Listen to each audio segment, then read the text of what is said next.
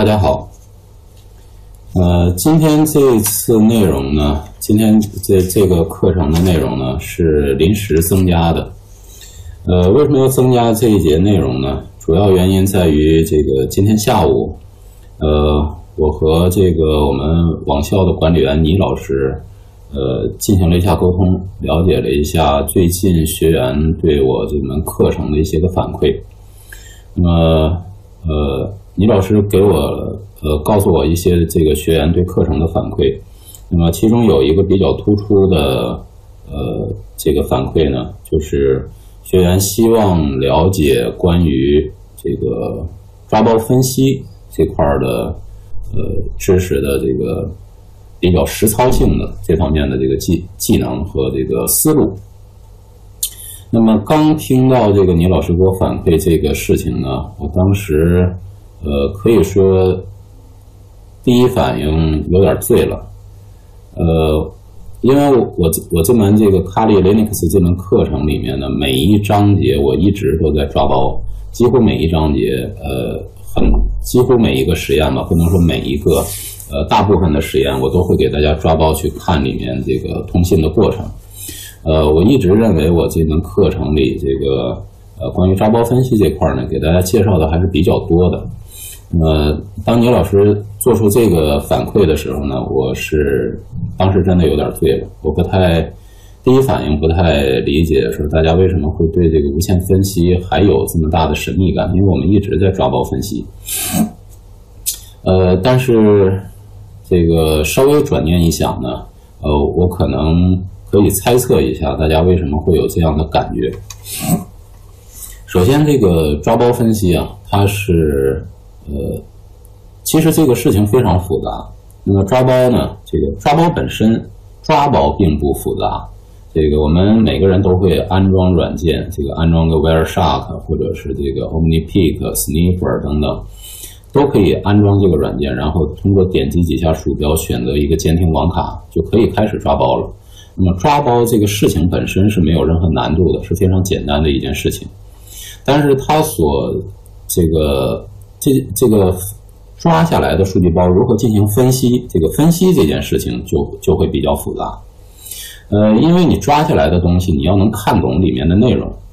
你如何才能看懂这里面的内容呢？那么首先你要对常见的大部分的这个协议你要有所了解。否则的话，这个你抓下来的所有的东西对你来说都是天书，你是完全看不懂的。所以这个呃，你要想做抓包分析，必须对常见的这个协议要有了解。另外呢，现在这个抓包分析的软件也已经做的都非常的这个用户界面都非常友好，我们也可以利用这些抓包分析软件的友好的界面以及它强大的呃默认集成就有的这些分析功能，来为我们抓包分析。呃，来这个起到一个很好的帮助作用。呃，那么抓包分析是一个非常强大的一个功能，也是呃，这个其实非常考验一个技术人员他的这个对协议了解的这种功底。那么曾经我有一个同事，呃，在认识这个同事之前呢，我一直认为我是一个对抓包分析非常了解的人。那么每到一个陌生的网络里，我都会去抓一下包，看看这个网络里有什么异常的情况。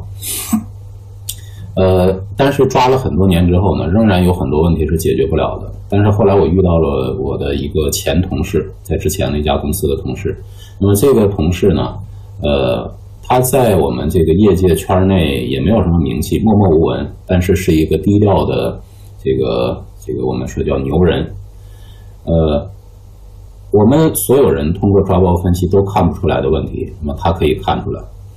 呃，几乎所有的这个他是搞网络的，搞思科网络的。那么几乎所有这个思科网络上这个呃配置出现问题或者一些网络异常情况，他通过抓包，他几乎都可以解决掉问题。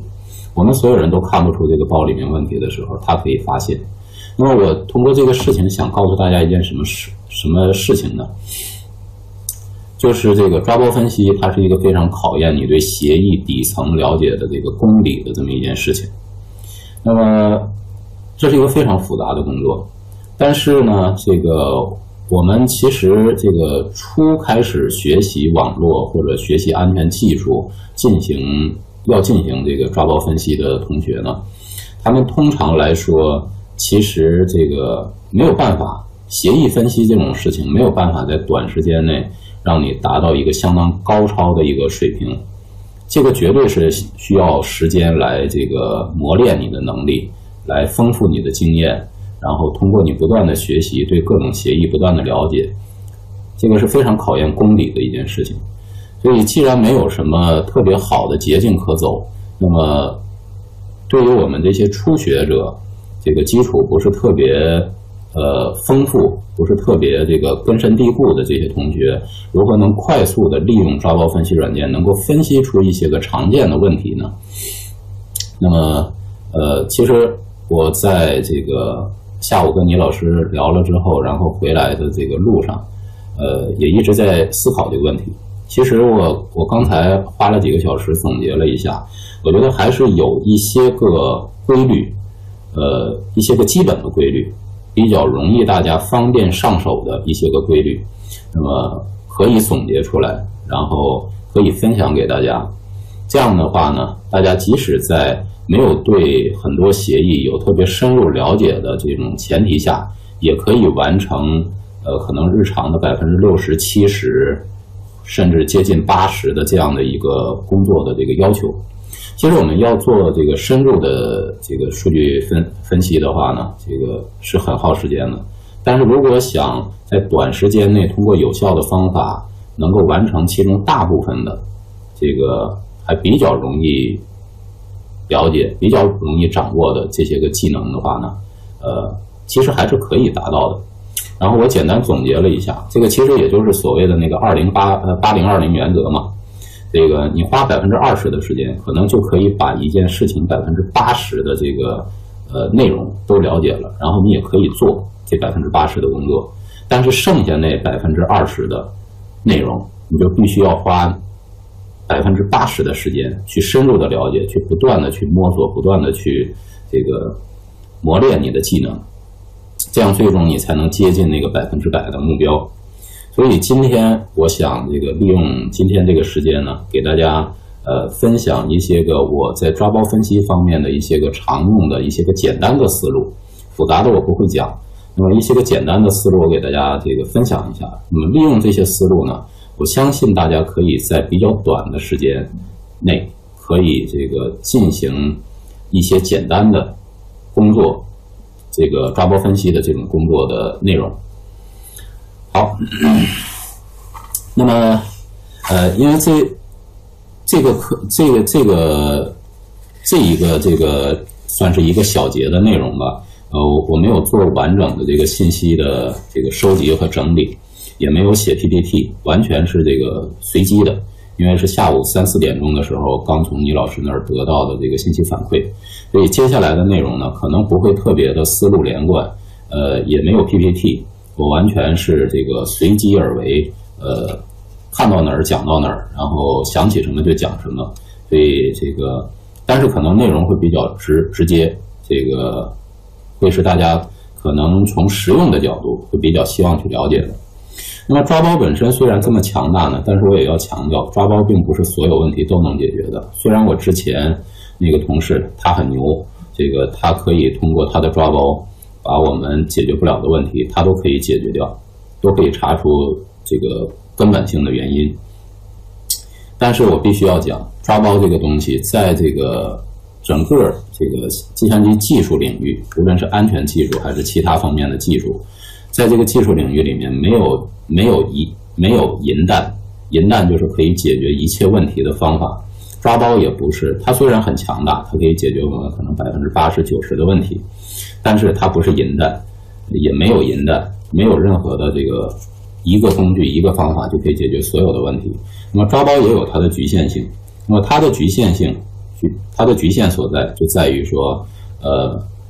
抓包，我们抓到的都是二进制的零一零一零一。那么，如果抓包分析软件可以帮助我们去解这个解码，把这个零一零一还原出它真实的内容，那么这当然是最好。我们可以看见这个还原出来的内容是什么。如果凭我们的肉眼，凭我们的这个人的大脑去还原零一零一，把它还原成这个相应的字符还是什么，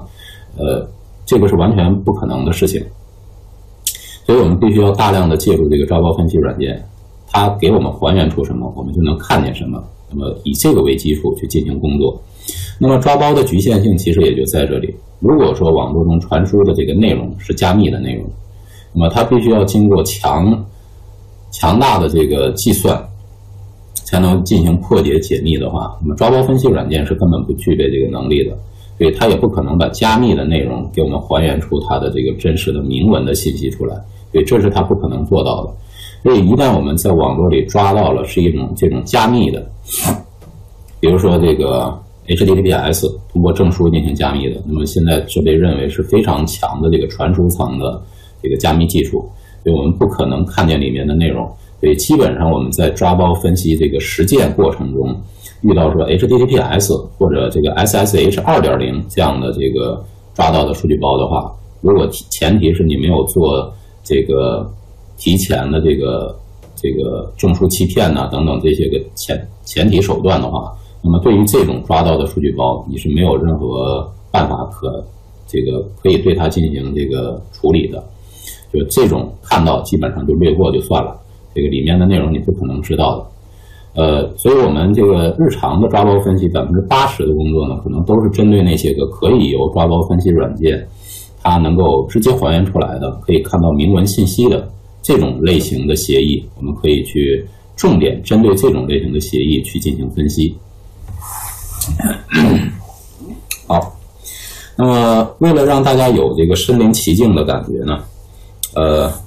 所以我下面会以这个一些个实际的场景，这个来给大家介绍抓包分析相关的这个实际工作过程中的呃思路和使用方法。那么说起来这件事情呢，这个说到抓包分析这件事情呢，其实还真的是有点这个机缘巧合，因为就在上一周，呃，我刚刚做了一周的这个大大数据量的这个信息抓包，抓包然后分析。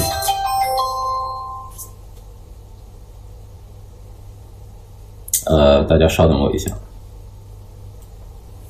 哦，我们回来。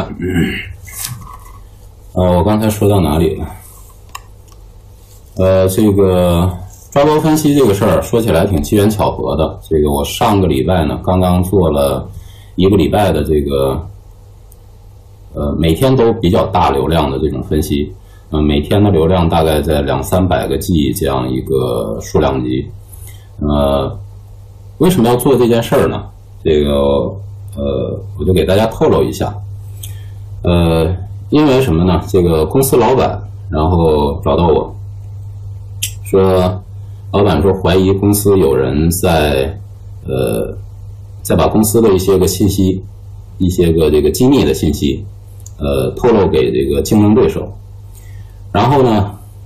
呃，老板希望我在从网络上能够监视一下。说公司是谁把这个有用的机密的信息给向外传输出去了？然后，但是他没有具体目标。我们公司几百人，然后每天的流量是两百到五百 G 之间，不确定。这个两百 G 到五百 G 之间有有很大的变动。那么，我如何能够说通过网络抓包这个流量分析来判断说到底是谁？把公司的什么信息、什么机密的东西传出去了？那么，这个，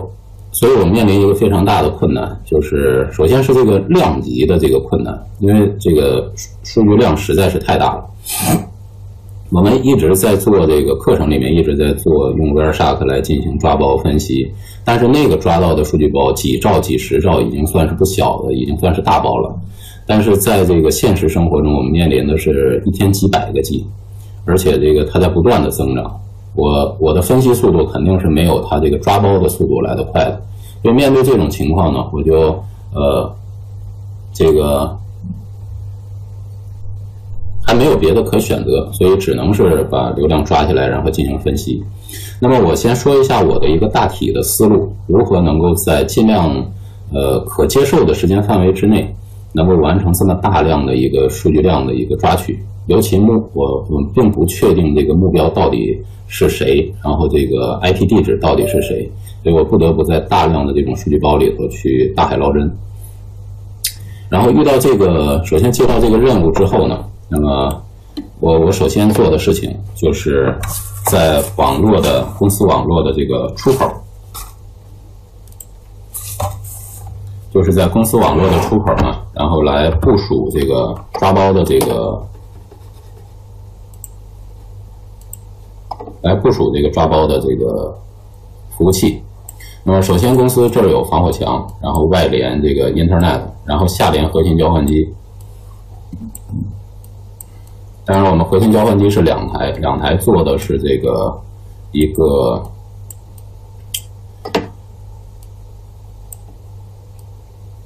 这个厂家的这个，我不能透露这个具体的这个交换机厂商。这个厂这个具体的这个交换机呢，它支持一种叫做 VC 的功能，就是虚拟的这个 cluster，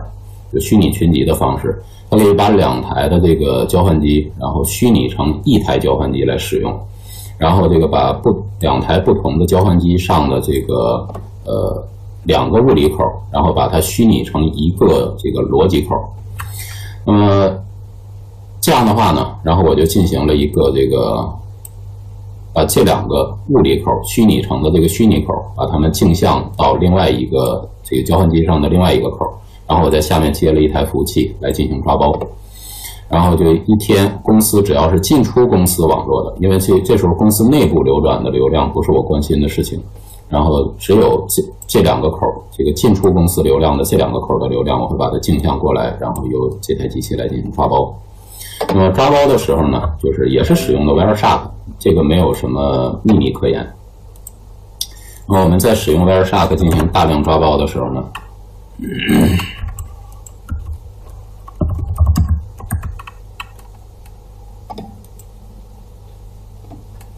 在使用 Wireshark 进行大量抓包的时候呢，这个方法是这样：我们先勾选这个你要抓包的这个网卡。那么我的服务器呢有两块网卡，其中一个网卡用来做这个抓包。另外一个网卡用来做这种带外的管理，然后我要把这抓到的数据包呢全都保存下来，所以我必须这个勾选这个这个使用多个文件，然后这个每这个当这个数据包抓到多大的时候，然后要这个另外生成一个新的抓包文件，呃，我使用的是三百兆，因为三百兆基本上已经是一般抓包软件所能呃。比较在比较快的速度里头把它打开进行分析筛选的这么一个比较合适的一个大小，然后另外注意把这个勾勾掉，这个勾呢它是这个使用这个 PCAP-NG 格式的这个来这种格式来保存数据包，这个 PCCAPNG 这个格式呢它是 Wireshark 所独有的一个抓包的这个保存格式。那么在这种抓包保存格式的这个抓到的数据包里面呢，你可以给它加备注啊，加各种这个个人的这个呃各种各样个人的信息在这个抓包文件里面，所以它比这个 TCP dump 默认这个抓到的那种这个包格式呢，会有它的一个功能上的优势。呃，但是在分析的时候呢，我们经常也会使用 TCP dump 来对这个抓下来的数据包进行一些个过滤筛选，所以这个时候呢，通常我不愿意选择这个勾。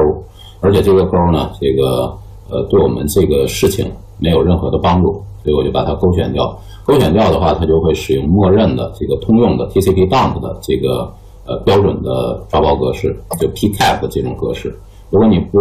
不勾选它呢，它就会以这个 P 呃 PCAP-NG 那种格式去保存数据包。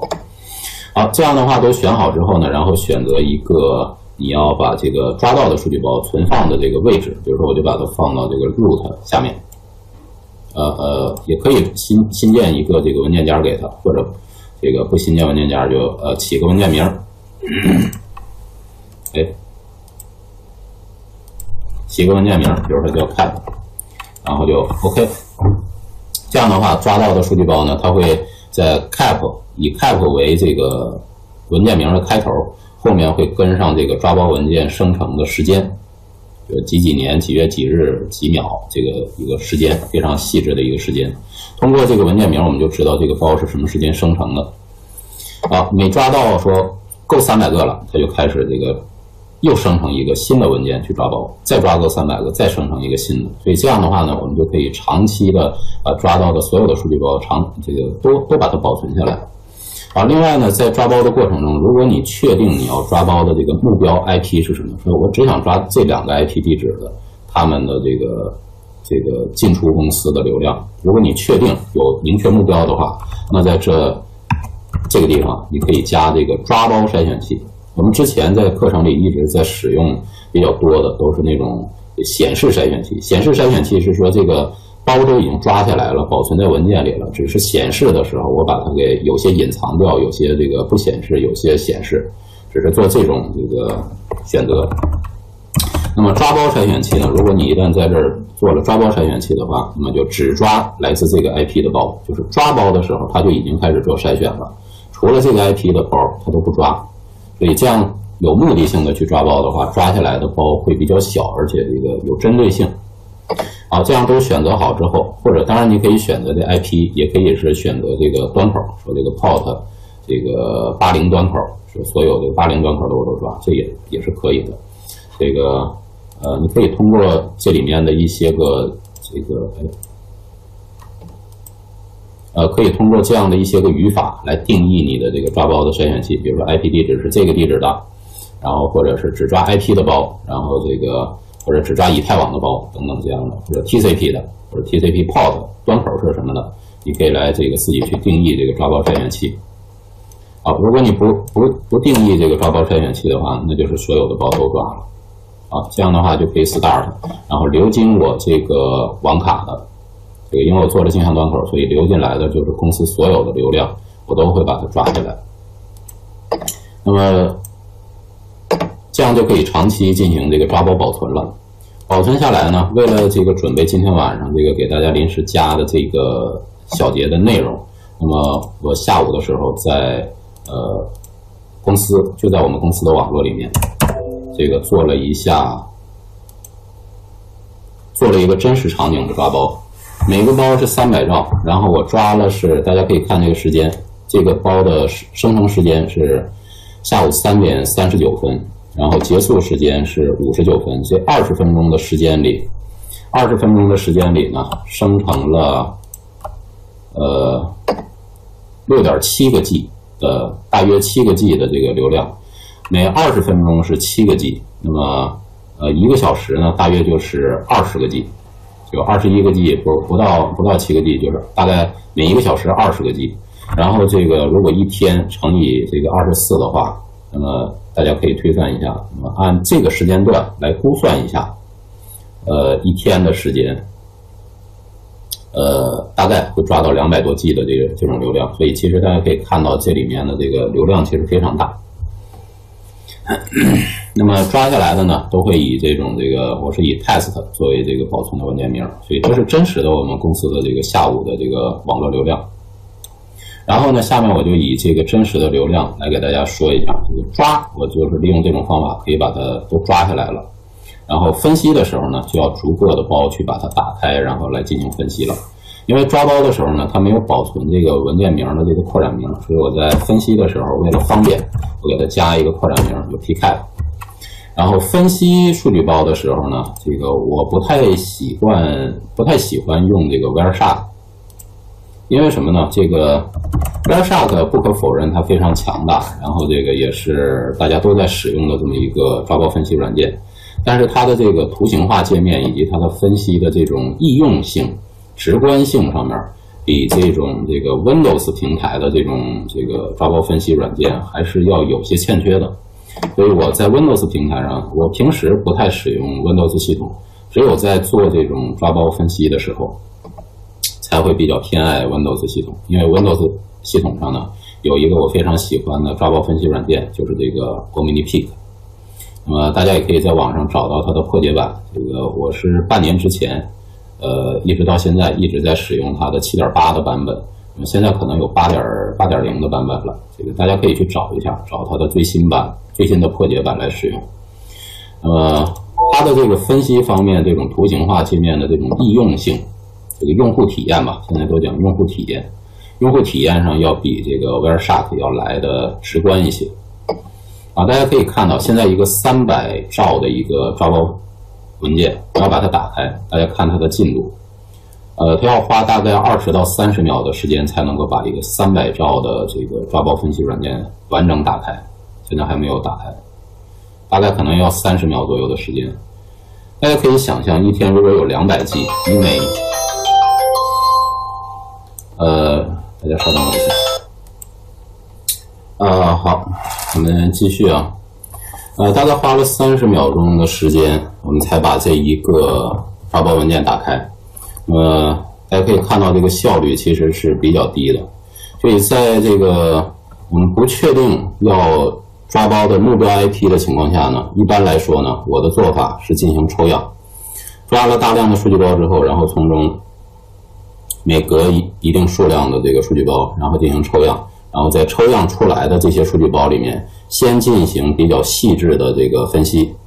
呃，通过这些分析的结果呢，然后在上周一周的时间，我通过四天的这个一周的周一到周四前四天的这个抽样的这个分析，基本上定位到了呃这个可能存在泄露公司风呃这个机密信息的这种这这些个这个用户。呃，找到了其中的两个 IP 地址，呃，然后呢，我就呃利用第五天的时间，然后再通过一些个脚本的编写，然后快速的把前四天抓下来的一个多 T 的这个流量进行一个这个快速的筛选和处理，然后在第五天一个下午的时间，就把这个整个一周有针对性的把我要找的那个目标 IP 的流量全筛选出来，然后对他们进行分析。那么接下来呢，我就给大家介绍一下，我拿到一个抓包分析，呃，拿到一个这个抓包文件之后，那么我对它的一个呃，算是一个标准化的处理流程，呃，无所谓标准化了，其实就是我的一个习惯性的处理流程。那比如说现在我就打开了这个呃三百兆的这么一个抓包文件，然后通常来说，我第一步我会先做一个事情。呃，因为现在这个是网络是正常情况，然后流量都正常，所以这个我要查里面这个相关的有用的内容，所以是我会按下面这个方法。如果说现在是网络流量出现异常，说比如说这个公司网络带宽被占满，然后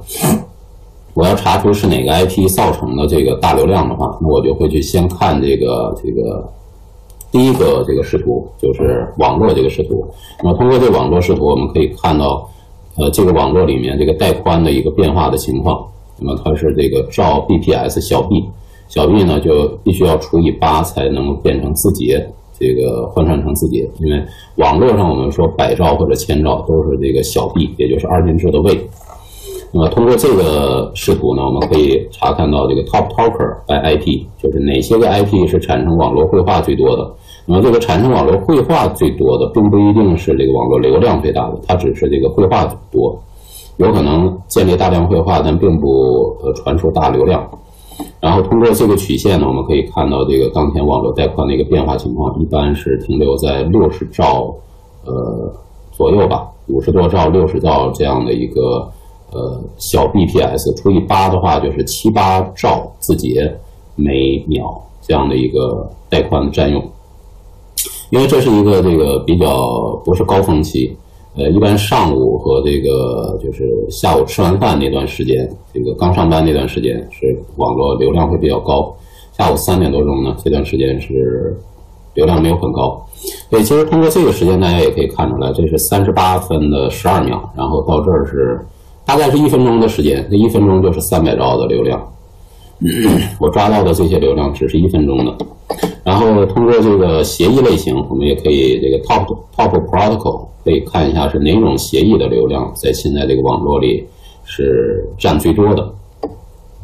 好，这是如果说这个网络流量有问题的时候，我们可以从这儿来直接定位到说哪个呃这个协议的流量最大，然后哪个这个呃 IP 的这个绘画最多。那如果你想看说哪个 IP 的流量最大呢？这是这个绘画，并不代表流量。如果想看流量最大呢，点击到这个 node，node 在这儿这个进行一个排序，那么就可以看出来当前流量最大的是哪个 IP 地址。你可以通过点选右键，然后把它相关的这个呃以这个 IP 地址为原地址和目的地址的数据包，把它筛选出来。好，那么这是因为我们现在不是我现在要做的目目的，不是做这种流量分析，我要是看内容，所以我我要做的这个这个标准动作，第一步就是先看协议。看协议的目的呢，是先把那些没有用的协议把它给剔除出去。呃，这里面有很多种这个协议，一般你在一个真实的网络里面抓到的数据包，基本上都是这种情况，就是它你抓到的是有各种各样的协议。那么有些协议你是没有没有任何分析价值，就需要直接把它给剔除掉，这样把我们呃要分析的有价值的这个要分析的目标把它给筛选出来。好，那么下面呢，这个是我们就我要做的第一步，就是把没有用的协议摘除掉。那么像这种这个 Citrix Citrix 的这个协议，那么我们公司里其实没有部署 Citrix 相关的应用。那么这可能是一个呃，这个基于端口来判断的是 Citrix 的协议，有可能并不是，而且它的这个包的数量呢，包的数量也只有一个，所以这种一个数据包根本形不成网络绘画，所以这种东西是完全没有必要去分析的。那么 Aruba 的一个协议，然后 Citrix 协议，这些都不是。这个有价值的分析的协议，然后像这些 MGCP，然后 RA 呃 RARP 这个反向的 ARP 解析，以及这个 Discover 就是网络发现的，还有 SIP。如果你的网络里有这个部署 VoIP 的话，那么它会使用 SIP 协议。那么这个我们也有，但是这个 SIP 的包呢很少，也不是我们关注的重点。然后 Fix 以及 IPv6 的这个。呃呃，SMP 的 V 六协议，以及 G 点七二九，前面还有这个 G 点 G 点二三六啊，G 点七二六啊等等，这些都是这个语音编码，这个传输的可能是一些个这个呃语音语音信息，然后呢，这些个 H 点什么 G 点什么，这些都是这个语音编码的这个编号，所以这些东西也不是我们要关注的，这个呃不是我们要关注的内容。然后这个 TDS 啊什么这些也也不用管，ICAP 这个是这个这个我我们也不用关心。然后 LLDP 这个是链路层的一些个这个发现协议，呃，类似于这个这个功能有点类似于这个思科的 CDP 那样的一些个功能。然后以及 NB 这个 Message 这些消息的协议，还有 MPV 这些都不是我们关心的。然后 SIFS SIFS 是文件共享的协议。但是呢，如果说使用微软的这个这个文件共享的话呢，呃，这个传输的过程也都有一些个相应的加密机制，所以这个也不是我们这个重点关注的这个内容，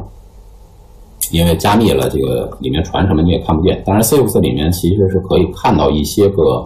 这个明文的信息的，那么我们也可以把它留着。呃，这个我现在选的都是要把它删除掉的。那么还有 SSH，SSH 呢是这个。呃，是这个也是加密的流量，所以这个呢，我们基本上也放弃，对它就是不做任何的筛选。然后像什么 G 点七二二，然后 SNAP、RTCP、LDAP，LDAP 的话呢，这个因为这个公司里面有域环境，所以这个抓到一些 LDAP 的这个数据包呢，这个属于正常。呃，但是呢。这个我没有必要去分析它，因为这个如果一会儿我给大家看了里面内容，有可能泄露我们公司内部的这个域的里面的一些个信息，所以我这就不看了。然后 SMB，SMB 也是这个文件共享，这个这个文件共享这个访问的协议，那么里面也有部分是明文的信息，然后这个也我也不去关注。然后这个我重点关注的是这个 Internet 上会跑的协议，什么 SMB 啊什么这些，这些都不是在 Internet 上会跑的协议，所以他们不可能通过这种协议把这个公司的信息给传出去。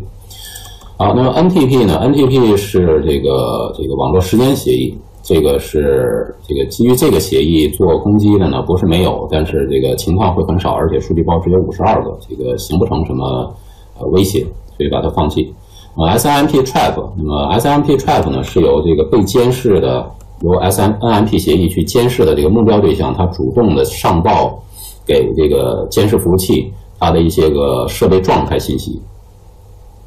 然后这个 OSPF hello，呃，OSPF 的这个是这个这个一种动态路由协议了，大家搞网络的应该知道。那么如果说这个你的 OSPF 这个呃环境里面是设置了 OSPF 这个密码的话，就是 OSPF 它有一个这个域，它如果你设置了这个域的密码的话呢，那有可能通过 OSPF 这个包把那个密码给抓出来。呃，当然这些因为它是路由协议，这个都不是我现在关注的这个 Internet 上会跑的这种协议。然后八零二点一以及这个 DHCP，DHCP 我们也不去关心的，因为它是用来获取 IP 地址的。还有 DEC 啊，呃，像这种这个 FTP 的 control，FTP control 呢就是发 FTP 的这个控制指令的。那么这里面通常会包含这个呃用户的这个登录账号和密码，而且 FTP 本身是明文协议。所以这个，呃，呃，其实也不应该是我去重点关注的内容，呃，但是呢，有可能通过 FTP 把信息传出去，所以这个我要关注一下，先把它留着。GSM，那么，呃，这个协议我还真不不熟，这个应该不是我们手机上的 GSM 那个协议，呃，但是对这个协议我我不太清楚，呃，你你在这个现在。应用协议有大量众多的应用协议，所以你不可能任何一个人可能也没有办法了解每一种这个通信协议。也遇到一个你不清楚的这个很正常，但是首先你要判断它是不是会在 Internet 上跑，然后会去传什么数据出去、传信息出去这种情况。呃，所以我我先不去关注它。这个 SMT，然后 Syslog，Syslog 就是一些这个系统日志的信息，那么也是明文的。这个先留着吧，一会儿给可以给大家看一下。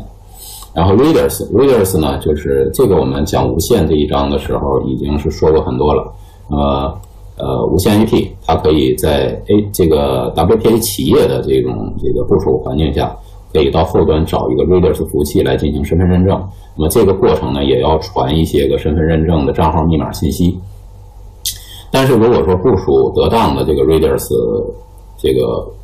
这个关键看你怎么去部署。如果你部署得当的话，那么 readers 一般都会采用证书进行流量加密，所以基本上你也看不见里面加密的这个信息，而且它也不是我要关注的这个 Internet 这个流量。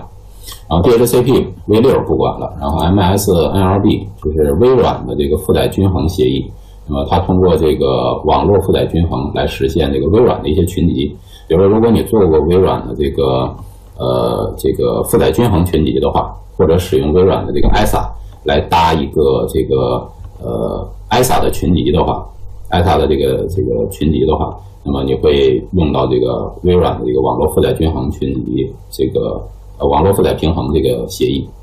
然后 VRRT 呢，它是一个这个二层的呃呃这个用来做这个这个高可用的这么一个协议。然后 IP 分段。IP 分段如果说少量的话，这个是正常的。就是当你传一个大包的时候，它必须在这个做这种这个 IP 分段，因为以太网这个包长度是受限制的。当你要传一个大包、一个大的这个数据包要发出去的时候，那么必须进行分段。那么少量的 IP 分段在一个网络里是正常情况。如果说大量的话，那么有可能是一种攻击行为。那么稍后我会给大家看一个 IP 分段来实现这个网络攻击，然后避免 IDS 对内容进行检测的这么一个呃抓包的实例。然后 IMAP，IMAP 就是这个邮件收邮件的这个一个协议了，然后走幺四三这个 TCP 幺四三端口了。那么这是明文协议，所以可以把它留着，看看里面是不是有人在这个收发一些什么邮件，我们甚至可以查看一下邮件的内容。然后这个 IMAP S，那么这就是。经过证书加密的这个 IMAP 了，所以这个基本上我们放弃。这个证书加密，我们没办法破解其中的内容。然后 G 七二三这个也放弃。然后 RTP 这个这个实时传输协议，呃，这个一般也是用来传语音的。然后 ARP 的 Request，这里面 FTP Date 这个是用这个 FTP 传数据的，就是通过 FTP 你下载这个数据，具体传的是什么内容，我们可以通过。一会儿这个想办法把它给这个传的数据、传的文件是传了个 exe 啊，还是传了个 word 呀？把它给还原出来，所以这个可以是我们关注一下的这个点。然后 SNMP，SNMP 如果你在一个网络里面这个呃这个做监控的话，都会用到它。那么 SNMP 里面呢，这个我们目前主要使用的还是 V 二的版本，然后 V 三版本目前还没有这个大范围的去使用。有 V 二版本呢，里面这个 Community 都是明文传输的。那么 Community 也就相当于 SNMP 的一个 password，就是一个密码。如果你拿到它呢，就可以用这个密码去连这个目标设备，然后查看目标设备上的这个呃这个设备的运行状态、运行情况。呃，另外，这个如果 SNMP 这个 community 还是这个可写的话，有可写的权限的话，那你就可以更改用 SNMP 去更改这个网络设备的这个配置了。所以这个也是一个呃比较有这个我们做安全渗透测试的时候，在渗透到目标内网的时候，可以去关注这个东西的。那么在之前的内容，我也给大家介绍过如何做 SNMP 的这个扫描。呃，相关的信息目标目的都是来破解这个 SNMP 的这个 community，但是如果说你通过抓包，你就直接抓到它的 community，那就直接拿来就用了，就不用再去暴力破解、字典破解，不用那么费劲了。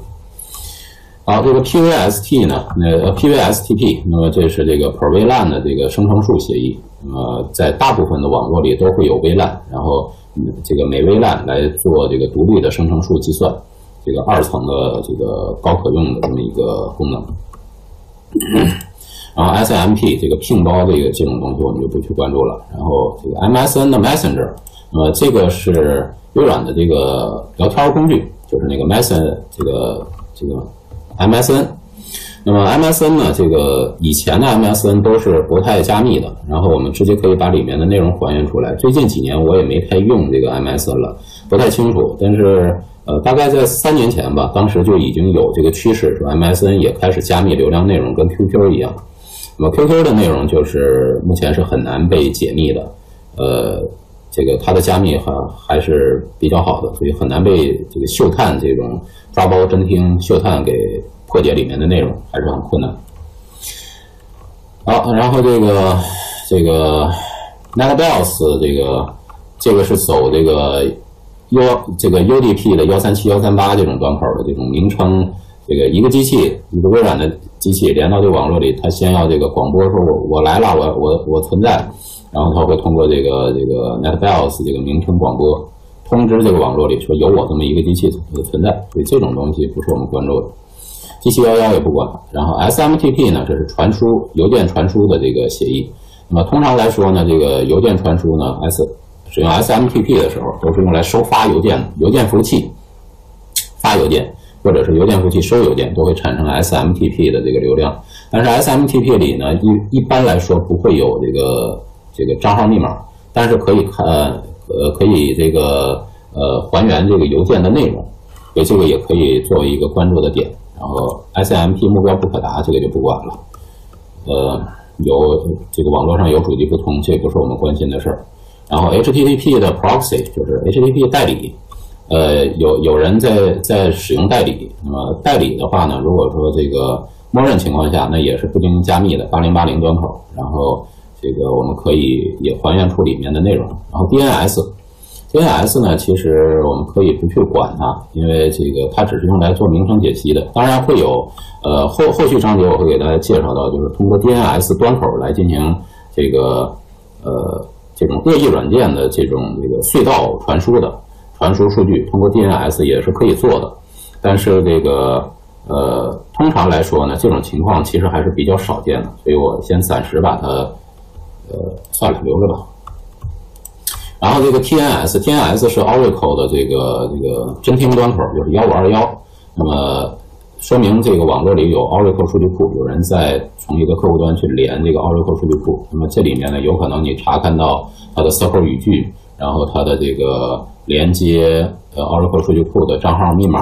呃，这些有可能会被这个查看得到。然后 SMP 这个不是我们关心的。然后这个 HTTPS 基本上我通常来说我都会放弃，因为这个解密太费劲，呃。这个通常来说我都不去看的，即使里面有传出去什么东西的话，这个我没有办法，因为抓包分析的它的这个缺陷就在于此，加密的内容呃很很困难能把它还原出来，好吧？啊，我们然后这个点右键把不想看的协议内容都把它选中之后，然后点右键把相关的数据包选出来，选出来之后呢，然后这个这个隐藏起来，hid select selected 这个 package packages，把刚才选这些协议，这些协议是我没法分析或者不想分析、没有必要分析的东西，我就先把它过滤掉，然后只显示那些个我有必要去分析一下的这个内容。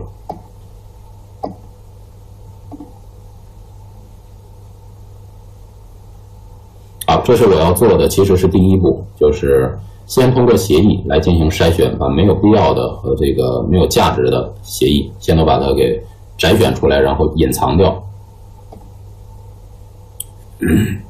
哎，怎么这么慢呢？好，它现在在处理。那么每次处理这个包呢，都需要花一定的时间，所以其实都是非常消耗这个计算机资源的。好，剩下的这些信息，这样就清晰了一些了。这个已经，呃，剩下的工作量我们觉得不不是太大了，但其实还是很大。然后第二步要做的就是通过节点，呃，节点这里面呢，其实重点我一般会关注这么几个事情，就是第一个，先关注这个，呃，这个主播地址。主播地址呢，就是从这个二二四开始的往上的这些地址，我们这个 IP 地址，这个 A B C D。这个 IP 地址分类，那么呃，这个 A、B、C 类我们都是经常用的。然后这个呃 D 类呢，就是主播地址，就是二二四开始往后的这些个地址，二四到二三九之间的这些地址，那么就我们都都是主播地址，所以这个如果遇到这种地址的话，可以直接把它给屏蔽掉，也也把它给比如说选中，然后这个给它这个选中之后，然后把它给隐藏起来。因为都没有必要去分析。好，那么但是剩下的其实还很多。这个 IP 地址，整个在剩下的数据包里面还有这么多大量的 IP 地址。那么除此之外呢，我们还可以这个通过 summary 来了解一下当前抓到的这些数据包，然后它是这个什么时间开始抓的，然后这个这个整个这三百兆的。文件里面是持续了才五十五秒，五十五秒就抓了三百兆，然后这个它的平均的对带宽的利用率啊，然后平均的这个速度啊等等这些信息啊，这个不是我们重点关注的。然后这个继续往上，呃，接接下来这个协议这一块呢，我们基本上就可以呃来通过对单个协议来进行逐个分析了。那么因为这是真实网络里的流量，有可能会分析出来一些。涉及机密的内容，所以这个呃，如果涉及到机密的话呢，我就会暂停下来。呃，比如说我们先看这个吧，NFS 这个，我们每分析一种协议呢，都可以通过这个右键点选把它给 select 出来，然后 copy 到一个新的窗口里面。那么 copy 到新的窗口里呢，就这边只有显示这一种协议相关的这个数据包了。然后，因为 NFS 这个默认情况下，我这个抓包分析软件呢，对它没有一个这种 NFS 协议的一个这个应用层的这种这个解包分析的这种功能，因为这个协议太多了，每一个抓包分析软件都不可能对每一个协议都来进行详细的这个这个分析。我我现在使用这个 OmniPick 呢，它也只对这个 Web 应用有一个单独的这个分析模块。其他的呢，也只是去做这种标准的协议的这个拆包解包，并不会有这种应用层的这个分析模块。啊，那么我最经常用的会是这个 Expert，也就是专家系统。专家系统里面呢，我可以这个看这个，我现在这个抓呃这个筛选出来这个 NFS 相关的这个数据流量里面，呃，它的这个流有有多少个流？那么一个流呢，其实就是对应一个五元组。一个五元组其实也就是这个协议，然后这个原目的 IP 地址、原目的端口这五个元素放在一起成为一个五元组。那么一个流就是对应一个五元组，然后这个对应的应用，那么它对应应用是这个 NFS 这个 RPC 啊，我们可以双击它，双击之后呢，可以通过这个 Payload 这个呃页面，当然你也可以查看其中的其他的这些个超高分析软件其他的视图，那么。或者看它的这个网络绘画的过程，他怎么请求的，他怎么给他回包的等等这样的信息。那么我重点会关注它的 payload，也就是这个包里面的内容。这样的话，它就给它还原了。虽然我们看着这个通过这个通过端口这个抓包分析程序通过端口来判断的说这个应用是一个 NFS 的程序，但实际上我们当打开它这个包里面的内容，可以看到这是一个 HTTP 的应用，它在发 HTTP 的 GET 请求，然后这个呃这个 host 主机的 IP 地址端口，甚至里面有这个 cookie 信息，我们甚至可以拿到这个 cookie 信息，对它发起一个这个伪造的这个这个身份认证请求。然后，从而可能获得一定用户的权限。当然，这个应用呢，它的这个 cookie 信息都是这个短时间内就会被这个失效掉的。所以，这个我现在给大家看呢，也不怕这个泄露出去。好，这是就看到了这个包里面内容，它我们可以看到它里面传了什么东西，传了什么指令，这些都可以看得见。好，就回到这个刚才这个这个主文件。刚才我选中的这些数据包呢，都会被这个标蓝，这个标亮。标亮之后呢，这个因为这种协议我已经分析完了，然后就可以点选右键把它给隐藏起来，hide 这个 select 包。这样的话呢，一种协议我就分析完了，发现里头可能没有什么我想找的这个这个有价值的信息，然后接着看下一个，他又做一次筛选，所以每一次筛选都要。呃，花一定时间，所以这个分析的过程呢，是一个比较耗时、耗精力的、耗时间的这么一个事儿。好，那下下面这个我们看这个 FTP control，FTP control 呢，同样也是 select 相关的包，然后把它给 copy 到一个这个 FTP control 里面啊，通常就会有这个呃账号和密码，所以呃下面呢，我先暂停一下，我先。查看一下，看这里面有没有账号和密码。如果有的话，呃，我会把它截图下来，然后把账号密码隐掉，再给大家看。好，我现在先暂停一下。好了，回来，这个这是我刚才抓下来的，这个这个不不能给大家看。呃，这是我刚才这个通过就是我后面这个窗口把它截屏截下来的这一块儿。那么这就是 FTP 的这个指令。那么首先它是可以知道这个服务器是个 Server U。然后 v 十一点二的这个服务器，然后 user 是什么？这块我给这个藏掉了，这已经显示出来了。其实，然后 password 是什么？这也就看见了。然后，而且呢，可以看到它已经这个登录上去了。然后登录上去之后，发这个 pwd 查看当前目录等等这个后后续的这些操作。好，这个呃，我再暂停一下，把刚才那个窗口关掉，以免大家看到这个我的账号密码。好，把那个窗口关掉之后呢，然后我把这个 FTP control 这块的这个呃这个筛选出来的包这个窗口先把它关掉，然后呢回到这个主主窗口这个主的这个抓包文件，然后因为 FTP control 这块的这个协议我也给它这个呃分析完了，然后呢我就可以把它给隐藏起来了，也就这样逐个逐个协议的去进行这种分析。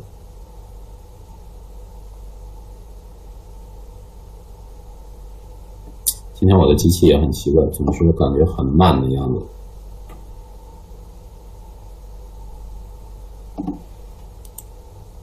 好，就是这样，这个逐个逐个协议。那么 POP 三呢，这里面基本上也肯定是有这个账号和密码的，所以这个也可以去看。然后这个 IMAP 里面基本上也会肯定有账号密码。然后 FTP date，这就是通过 FTP 这个人他到底下载了什么东西呢？我们可以把这个相关的数据包拷贝出来。然后还是到这个呃这个专家系统里面来查看，我们可以点右键，然后这个呃不是呃就双击它，双击它这样就可以查看到这个它下载的这个文件的内容，这个就是它下载的这个文件的具体的内容。那 RIFF 这个文件头呃。这个我一下子还真想不起来，它到底是什么格式的这个文件了。不过其实没有关系，这是这个 FTP 下载的这个数据的内容，这就是数据的具体内容。那么把这些个内容把它还原出来，保存成一个文件，那么自然就可以知道这个文件里到底是什么东西。呃，所以我们可以点右键，然后把这个，因为这是客户端向服务器发起请求，然后服务器给它返回的这个数据的内容。所以我们可以点右键，然后选保存这个 Save Server Date，把这个服务器发给我的这个文件，把它保存成一个呃发给我的这些内容呢，给它保存成一个文件。比如说我随便起名，这个起个 s 点 txt，但是这个扩展名并不决定这个文件它的这个文件格式，决定文件格式的是这个文件头的这个最前面那几个字节。然后我现在保存，把它保存到我的 D 盘下。虽然扩展名叫这个 txt，但是这个没有关系。呃，剩下呢，我们可以简单的判断一下这个抓下来的这个文件到底是一个什么格式的。然后我们可以 cp，然后 media sf 下的这个 s 点 txt 到我当前目录下来，把它拷贝进 Linux 以后呢，Linux 有一个最简单的这个呃办法，就是用 fill 命令来查看一下 s 点 txt，那么它会告诉我这是一个这个 riff，然后数据文件，它是一个声音文件。那么我们找一个这个语音播放软件，可以来播放一下它。呃，我在这里就不播了，有有可能也涉及到一些个这个呃机密的这个语音信息，所以我就因为我们公司的应用是有基于语音去做这个语音识别的东西的，所以我在这里就不播了。所以通过这个方法呢，我们就还原出一个声音文件。你找一个这个呃可以支持这种声音文件的这个播放器，就可以把声音直接播出来了。好，我们再回到这个主的这个窗口界面，然后再点选右键，把现在已经分析完的这个 FTP date 这一部分的这个内容也把它给隐藏掉，然后剩下这样的话，我们就分析的任务会一点点减少，要分析的东西越来越少，最后就把所有的内容全都分析完成了。当然，这只是说基于一些个呃这个内基本内容的这种分析。当然，如果说你发现这个 FTP 传的是一个什么执行文件，那么进一步你就需要判断这个执行文件它到底是做什么用的执行文件，它是不是有可能是一个病毒？那么在这个我就不能再继续下去了，因为呃，如果我们再去分析这个执行程序的话，呃，这个就涉及到二进制逆向工程，这个我们就把话题扯得太远了，所以我们还是把这个呃当前的话题集中在目前这个抓包分析上面。我们只只把这个东西还原出来，具体这个后续如何分析，那还有更多更多的工作要做。呃，所以抓包分析只是这个可能很多工作的这个第一步要做的事情。分析完了之后，还有后续要大量的工作在等着我们呢。所以安全其实真的是很复杂，它无穷无尽，然后几乎没有止境。你想挖到多深，你就你能想象到多深，就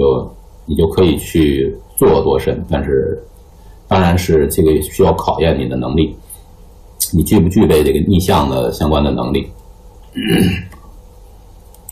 好，然后下一个协议 POP 三我们就不看了，这里面可能有密码的。然后这个 SNMP，呃，这里面可能有这个 Community，也不给大家看了。然后 MSN 的 Messenger，我们这个看一下，看一眼吧。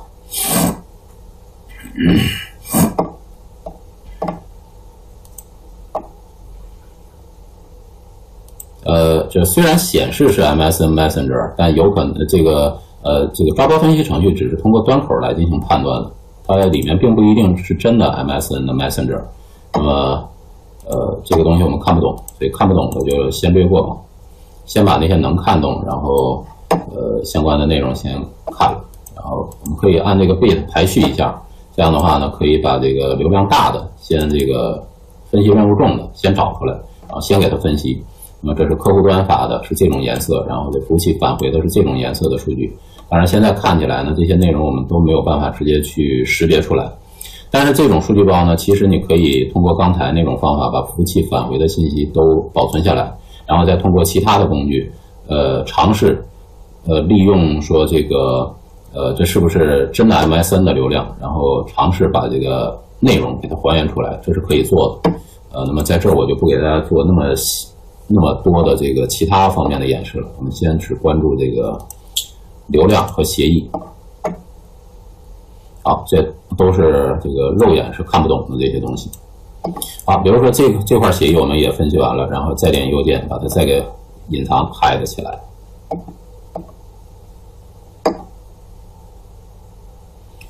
呃，大家可以想象啊，这个我的这个。本虽然比较老，但是我的 CPU 也是这个几年前的 i7，然后这个处理性能还是蛮不错的。然后这个，而且我现在用的这个硬盘呢，也是五幺二的这个 SSD 固全固态硬盘，没有任何机械硬盘，所以按说我这个本儿的这个性能其实是蛮不错的。但是在做这种哪怕只有三百兆的这么一个小文件的抓包分析的时候，其实大家可以看到，它并不是，并没有会显示多么的流畅，多么的快速，呃，这是一个很耗时的一个事儿。Smp 这个 SMTP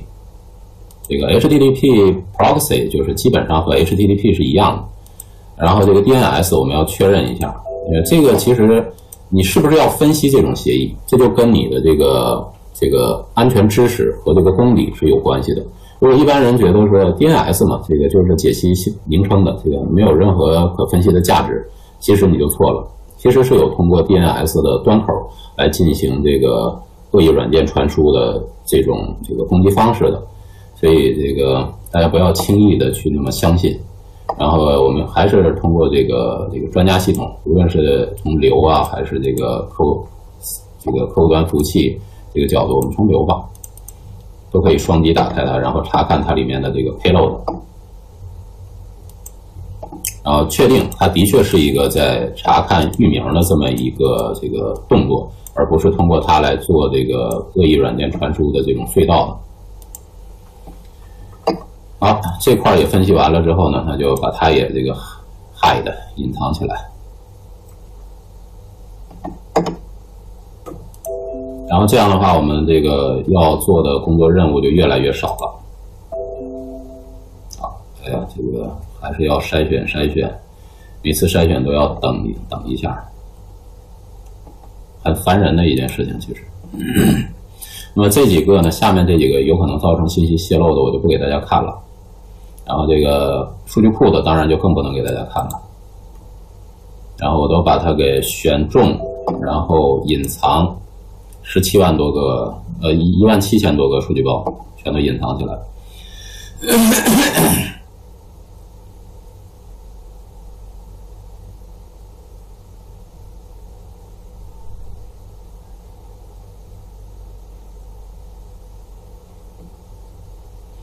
呃，其实我要说一下，就是所有这些操作，你用 Wireshark 也完全都可以做。那么，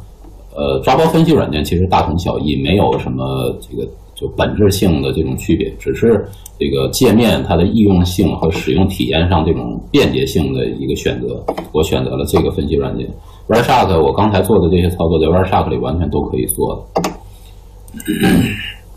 然后剩下这个 TCP、HTTP 和 UDP，然后我们可以把 UDP 的筛选出来。基本上在这个企业网络里看见 UDP 的协议，可能大量都是 QQ 的这个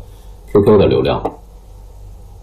啊，可以看见，大家可以看见它的这个呃原端口八千八千，就是典型的这个呃 QQ 的这个数据传输的这个端口 UDP 的八千。所以这个基本上我们也看不到里面的具体内容，然后 QQ 也都做了加密了。所以很难破解，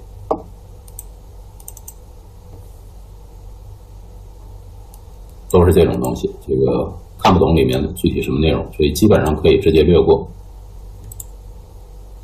也是把它再隐藏掉。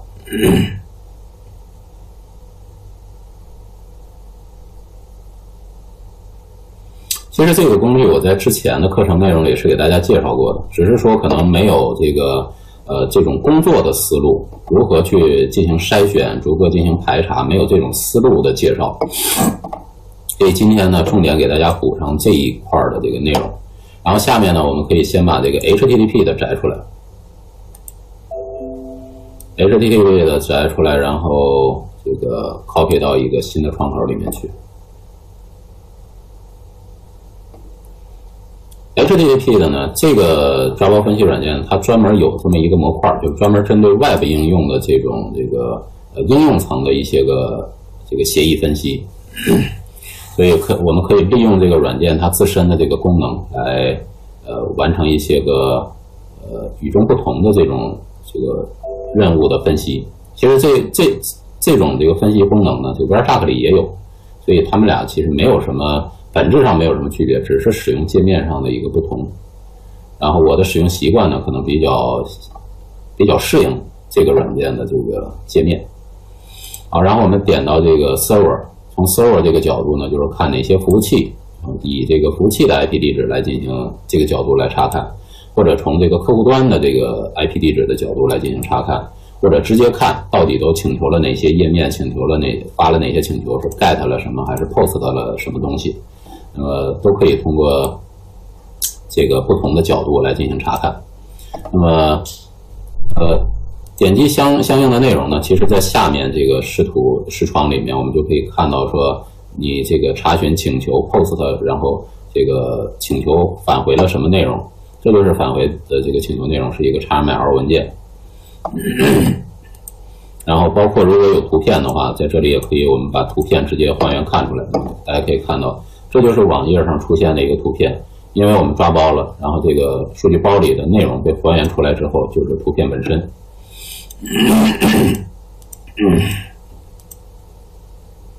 呃，这里也有一些个这个呃程序里面的一些个 XML 调用的这些东西，然后还有 jQuery 的一些个，我们再往下看，内容很多，对，这还只是一个小文件，呃，只有三百兆，你可以试想一下，如果你要分析两 T 的话，基本上你要逐个去看。你判断它到底说访问了什么网站，然后下载了什么东西，那么稍微节省工作时间的有个方式，你可以通过这个这个 content type，就是内容类型，通过内容类型可以把你要找的这个内容类型快速的把它给筛选出来。比如说像这个 PNG，这肯定就是他请求一个图片，那么这这这些图片。但是图片呢，可能不是我重点关注的东西。我们找一个能说明问题的，甚至这个访问的这个页面的这个完整页面都可以，这就是其中的一个页面。那么这个页面里，当然这个由于缺少一些个这个呃页面的 CSS 啊等等东西，这个页面看起来没那么好看。但是内容都在这儿，都可以这个还原出来。有些也可以把这个页面完整的以比较美观的这种方式，有这个 CSS 的。这种方式去把它给这个原本的样子给它显示出来。我要给大家找一个是，呃，像这种 FLV 的呢，这就是一个视频文件。那么我们可以这个通过点右键，然后把这个视频文件把它给 save payload，就直接把这视频文件从抓包里头给保存出来，放到桌面上，然后。啊，这没有密码，吓了我一跳。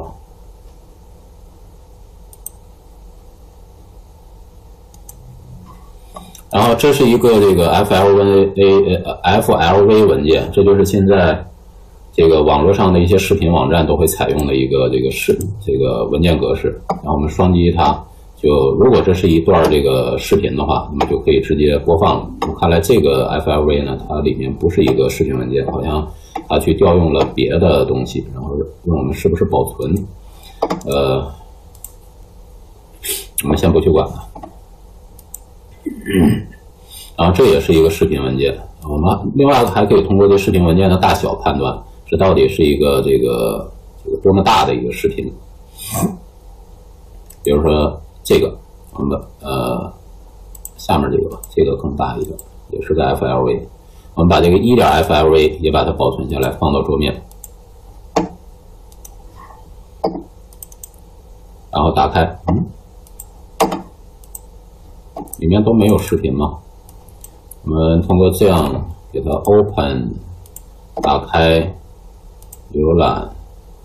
桌面。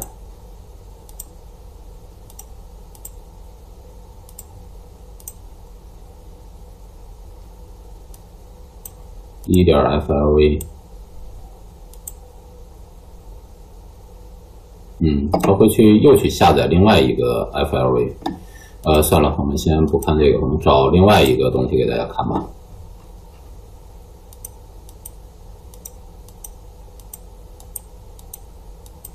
呃，做这个分析的话，你就就就是这样，你就得逐个去看。这里面像这种 Content Type 里面这种这个。呃，这种类型的，那么都是这个 XML，然后我们可以把 XML 不太关心的，可以把它快速的过滤过去。找其他类型的，还是 XML 文本，像这是在访问三六零网站。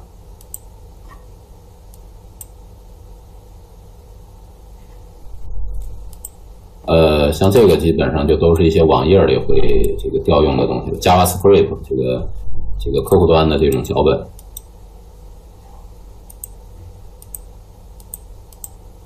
这都是 JavaScript。那么你感兴趣的话，可以把每个 JavaScript 的内容拿出来，这个看一下它的这个 JavaScript 是怎么写的。然后这就是 HTML 了，然后这是 HTML 当中的一个页面。那么这个页面里呢，有相应的表单，然后有它的这个看起来还有上传文件的这个地方。那么你就可以再进一步去查看，呃它到底是访问的哪个网站，然后这个网站呃对应的是不是这个上传的位置是可以直接访问的，或者是通过简单的方法就可以这个这个突破进去的。呃，这些每一个地方都有可能成为你分析的线索。像这种地方，这都是页面里的内容。我们不确定这个应用到底是什么东西，因为这现在的这个页面显示乱码。但其实你可以把它给这个呃这个呃这个 payload 把它 save 保存下来，保存下来之后，然后再用一些个呃网页编辑或者浏览器把它打开。呃，因为里面可能涉及到一些个秘密，所以我就不再看里面内容了，只是给大家演示一下它的用法。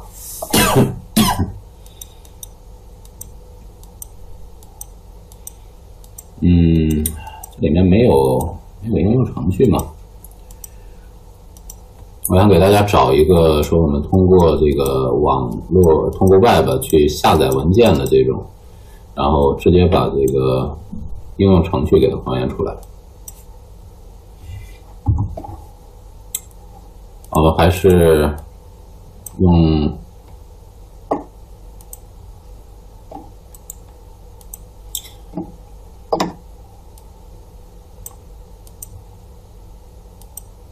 呃，像这种，这个就是这个文件的这个 mem 类型。mem 类型的话呢，这个呃，我们通可以通过快速的通过 mem 类型来判断这个文件它到底请求的是个什么格式的东西。那么这儿这儿有一个 MP3，我们可以点击把这个 MP3 保存下来。啊，保存不下来，可能是缺少这个数据包不完整，有可能这个绘画的这个数据包不完整，所以这个文件保存不下来。然后这个 application 这个也是一个二进制的一个流。所以这个这都是这个应该是一些可执行程序，你都可以尝试把它给内容保存下来啊。这是来自爱奇艺的一个一个什么东西？下面这是图片，呃，我想找一个可以下载的这个，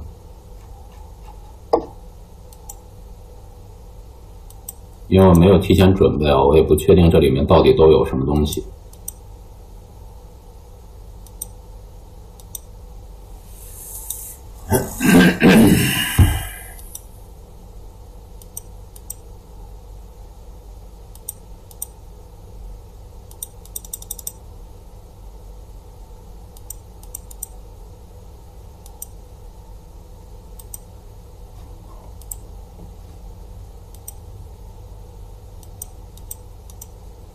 呃，我先暂停一下，等我找到了，然后咱们再这个回来继续。呃，算了，我们回来这个，我想到另外一个方法，所以在这个抓包分析过程中呢，也是方法也是在不断的去呃思考、琢磨、去尝试、去想出来的。所以虽然这个呃这个理论上摆在这儿，就可以用这样去做，但是还是可以有更好的方法去这个实践的。所以现在呢，我们来进行一下查找。比如说，我担心在这个网络里有人这个传输了一些个，比如说这个 Word 文档出去，或者 EXE 执行程序出去，那我可以通过这个在这个 package，就是这个呃这个抓包包的这个视图里面，我们来可以来直接进行一个查找。比如说这个点 doc，当然前提是您得先选中这个 ask date，就是包里面的这个 ask 编码的这个字符 ask 字符。ASCII 字符里如果包含有这个点 doc 的话，那么这可能是一个这个传 doc 文档出去，或者这个叉叉 ls 就 Excel 的这个文档。就是我们先查查找 doc，找到一个，那么这还是一个 HTTP 的这个绘画，所以这个过程肯定有 DOC 文件在网络里传输，呃，有可能啊。我们先通过这个 select 相关的包，然后把这一个流，把这个流里的这个包给它摘出来，看这个流里面是不是传输了一个 DOC 文件。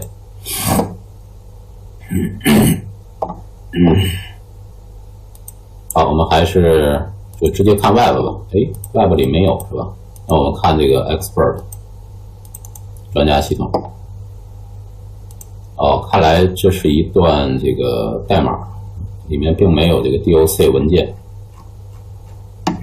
好吧，呃，我们可以继续找，查找下一个，这又有 DOC 了。然后我们看看这个是不是，我们再筛选出来，然后这个 by 流 by flow。看来也不是，也是四十四个包，跟刚才那可能一样。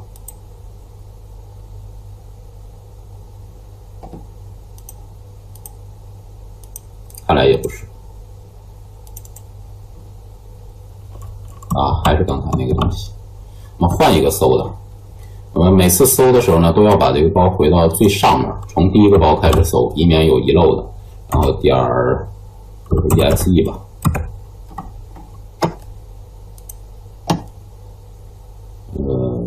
这个也有点可疑，不太像啊。不管了，我们先筛选一下。就是我们在分析的时候，其实你不知道目这个到底目标是一个什么什么情况，所以我们只能是挨个去看，然后挨个去尝试，最后把该尝试的都尝试了，觉得没有问题的把它隐藏掉，最后剩下的就都是有问题的。好，我现在看啊，这看来是有一个 exe 吧。我猜测，ps，看来也是哪个字符里面带了点 exe 这几个字符。嗯，我们通过这个 export 来看一下，看来是这些代码里啊，这有什么点什么 exe 啊什么，就是代码里面存在的东西。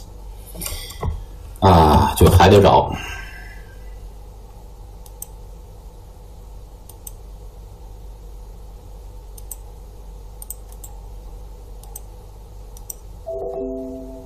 一百五十个包，这个稍微大一点，我们把它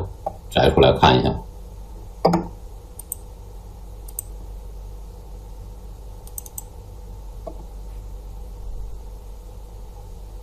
嗯，这也不是。再看下一个，嗯，这都不是。啊，我再暂停一下，等我找到了再给大家回来看。呃，我们回来吧，这个算了，我我不找了。大概在这一分钟的时间里，并没有这个 DOC 啊，这个 XML 文件，呃，以及 ESE 等等这些程序在网络里进行传输，因为毕竟这个时间太短了，只有五十秒，五五五十多秒的这个时间段。呃，所以也有可能说抓不到一个完整的这个通信的绘画过程，有可能传一个文件，传了这个五分钟，那么我们这这这这个不到一分钟的这个抓包这个时间里面，只是其中很小的一段，有可能也这个找到也还原不出来完整的这个文件，肯定还原不出来。但是这个方法就是这样，这个比如说我就举例来说，比如说现在这个大家。发现这个过程中，他 get 了一个请求，然后 get 的呢是一个这个，比如说一个 exe 程序，或者是一个这个 doc 文档，然后你完全可以点右键把它给直接这个 save payload 出来。呃，这是那个 MP3 啊，啊，这个 MP3 肯定是不完整的，所以没办法保存出来。如果它是一个完整的话，你就可以把它给保存下来，然后呃，用你的这个音乐播放器去播一下，看它在听什么歌。在干什么事情，这样就可以了。好，就是利用这样一个思路，这个把该筛选、该这个摘的都把它摘出来了。摘完之后呢，剩下的那么就是呃，我们这个如果没有发现问题，那么所有的都摘完了，那么这个这个包我们就分析完了，然后就可以开始下一个包的分析了。好，那么这是一个包。就是头四天呢，我都在对一个一个包来进行这个就是抽查，呃，每隔一几个包，然后抽一个包，然后看一看，最后呢，呃，从这些抽查的数据包里面，利用了花了四天的时间才定位到了两个 IP 地址，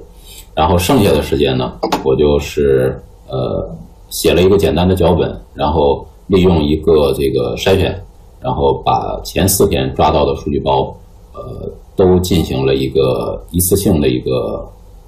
一个一个这个过滤，然后把我关注的那个目标 IP 的所有的流量，从前四天的流量里全都把它给呃摘摘选出来。好，那么呃，我先准备一下我的这个脚本，然后这个下面我给大家演示一下，利用这个脚本如何能够快速的呃把。这个大大流量的数据包里面的这个目标 IP 的流量给它摘出来。好，我先暂停一下，我先找一下我的脚本放在哪里。好，我们回来，我现在准备好了一个脚本，然后利用这个脚本呢，可以对这些抓到的这些数据包呢进行一个批量的筛选，然后从中筛选两个 IP 地址出来。呃，筛选出这两个 IP 地址，在这个所有的这些数据包里面的这个流量，都把它给统一摘出来。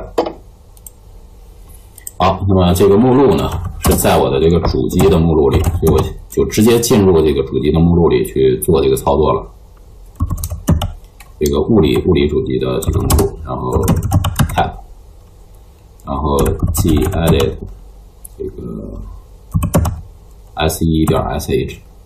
我先编辑一下这个文件，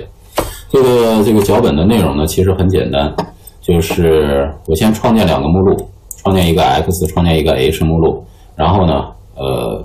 创建呃生成一个变量 a 等于这个 ls，就在当前目录，因为这个脚本和我的所有的抓包文件放在一个目录里，所以我就直接 ls，然后 grep 杠 v 这个这个符号 d，这表示是把这个所有的目录先都这个。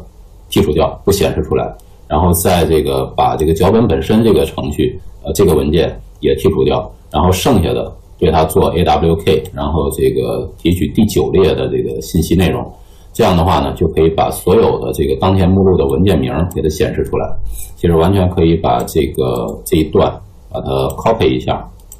然后。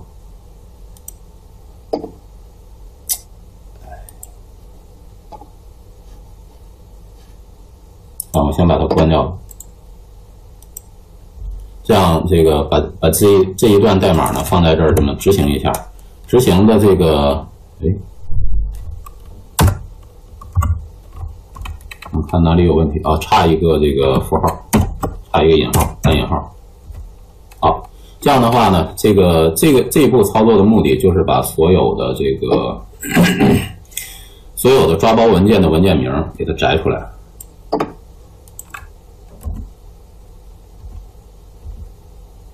摘出文件名的目的呢，是这个进行下面的循环，然后 for 这个 b in dollar a，在这个把呃就是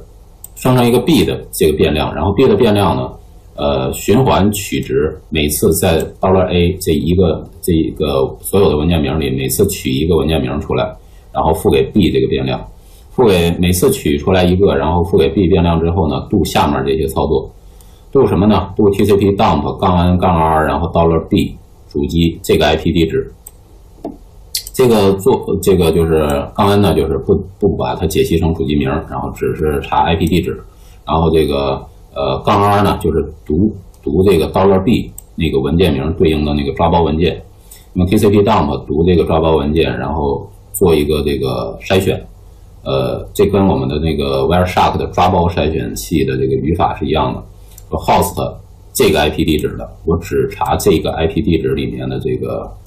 呃，这个所有这个数据包里面这个 IP 地址的所有的流量，我只把它给摘出来。然后呢，摘出来之后呢，我把它写到另外一个新的这个呃这个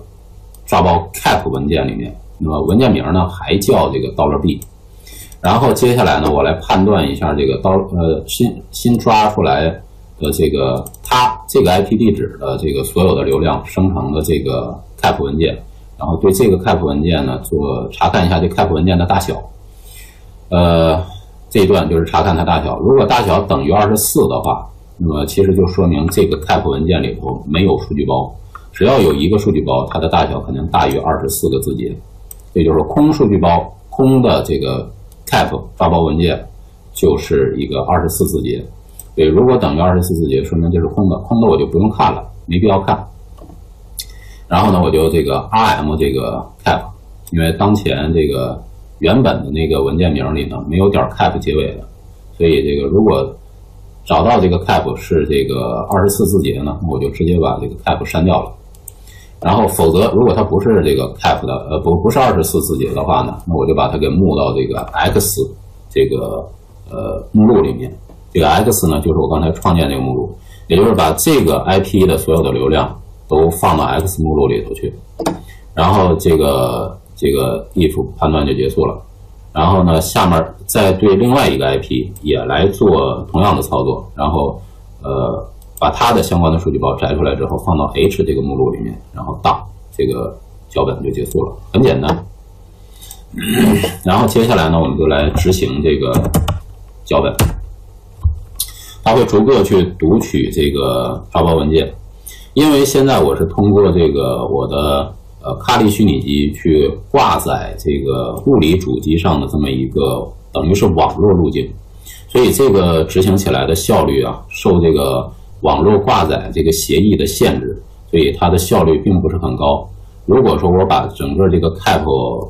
目录全都拷贝到我的卡利虚拟机里头来，那么在本机运行，等于在本机运行的话，那么这个这个效率会非常快，几乎是一秒钟会处理一个文件，处理一个这个三百兆的抓包文件，所以效率非常高。但是当然前提我是得先把所有的 cap 这六点七个 G 的。东西全都拷贝到我的这个卡里虚拟机里头来。那么，如果不拷贝进来，用这种网络挂载的方式呢，效率有损失。那么每处理一个文件，大概会需要个二十秒到三十秒左右的时间吧。呃，这个我我为什么会说它是这个网络挂载协议造成的这种性能损失呢？因为如果说我把它拷贝进来，在虚拟机里头本身来运行的话。是因为我我的是这个固态硬盘，所以这个呃是一秒钟就可以处理掉一个的，所以一定是这个网络挂载协议所造成的这个问题，并不是本机硬盘性能达不到影响。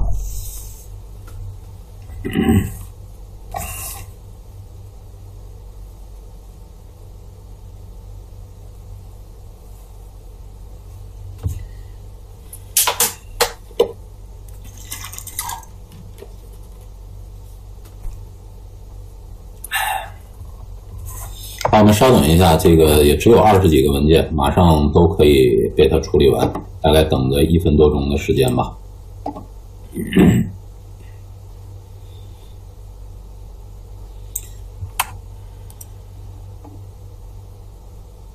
好，这边先让它处理吧，然后这个回来这个主机这边，我给大家看两个这个刚才看到的这个七七八个 G 的这个六六七个 G 的这个流量呢。都是属于正常的网络里的流量，可能根本就没有什么威胁的这个信息在里面，所以即使你分析了一天两天下来，可能是一无所获。那么下面呢，我抓两个这个这个有问题的、直接有问题的数据包，很小的两个数据包，这个两个抓包文件，这个利用这两个抓包文件给大家看一下这个如何分析这里面的这个安全问题。首先第一个 av 点 pcap。看到这个 AV，大家应该就能反映出来，这里面有病毒。好，这个病毒它也是个病毒文件，它也要通过网络传输到我的网络里头来。好，这是打开这个 AV 点 pcap 这个文件之后，我们看到的。呃，这里面有这个 SMP，其实这些是我们不太关心的。但是呢，这个我刚才是呃。刚才筛选那个三百兆的这个文件的时候，是直接把像这种这个 NetBIOS 名称的这种都给直接给这个剔除掉了。但是如果在这个局域网内部这个抓包发现这种流量的话，大家不要轻易的把它给这个筛选过滤掉，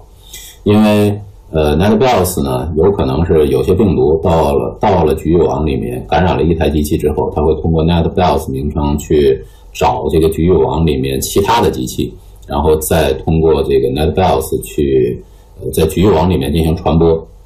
呃，这个很多这个 Windows 平台的这个病毒几乎都会这么做。对，感染一台之后，它就会在局域网里头扫别的机器，然后通过 NetBIOS 名称找别的找别人，找到之后，然后就往别人的这个机器上传，然后用一些简单的密码去破解对方的这个账号。如果破解成功了，然后直接还是这个这个网文件共享，就把文件传过去，然后在目标机器上接着传。这病毒都是有这种扩散的这个特性。那么我们就不看那么多那么深了，就我我给大家只看一些个这个基本的东西吧。这个包首先像那个八点八点八，这个谷歌的 DNS 服务器查了一些个这个域名，那他查的域名呢，一看这个域名就很可疑。这个域名叫什么 PUSKOVY 什么什么乱七八糟的一串点 RU，这个顶级域名本身就这个很怪异。所以看到这种域名的时候，看到这个流量的时候，我们作为这个网络呃安全人员就需要去警惕了。说怎么有这么奇怪的域名呢？通常会有这个木马呀或者病毒啊，会通过一些奇怪的域名去下载他们 download 他们的这个病毒体，所以这是很奇怪的事情。然后我们看这个，接着往下看这些抓包。呃，这个抓包当然，这个抓包文件当然很小，那么。它的得来呢，也完全是通过我们之前的这些个，呃，这个筛选，不断的筛选，一个一个的筛选，最后把它这个有问题的包，把它都给筛选出来，得到的现在的大家看到的这个文件。那么，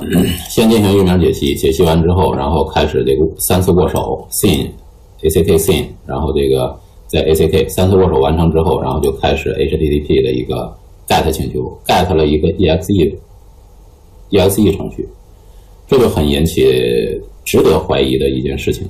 那么，他为什么要去 get 这个 EXE 呢？那么，这个 EXE 它到底又是什么东西呢？这个，而且这文件名又很很引人怀疑。所以，接下来我们就可以把它这个这一个 flow 把它给摘选出来。这一共多少个包啊？一共有一千多个。好，我们摘选其中的这个。摘选其中的这个 push 点 ESE 相关的这些个包，我们就要这一个流把它摘出来，copy 到一个新的窗口。这个新的窗口里这些所有的数据包里就包含了这个 push 点 exe 这个呃呃 push k 这这还不是 push 啊，这个文件名总之就很奇怪，很值得怀疑。呃，把这个文件就是这个 exe 呢，它就是通过这这些个包传进来的。但是它现在是一个一个独立的包，呃，即使这个抓包文件存在放在我的机器上，我的本机的这个杀毒软件也不会去杀它，因为它都是单个的这个包存在这个文件里，它并不是一个可执行的程序。所以那我们要做的呢，就是呃把它给还原出来。哎，通过 Web 这块还呃还原不出来，那只有通过这个专家系统了。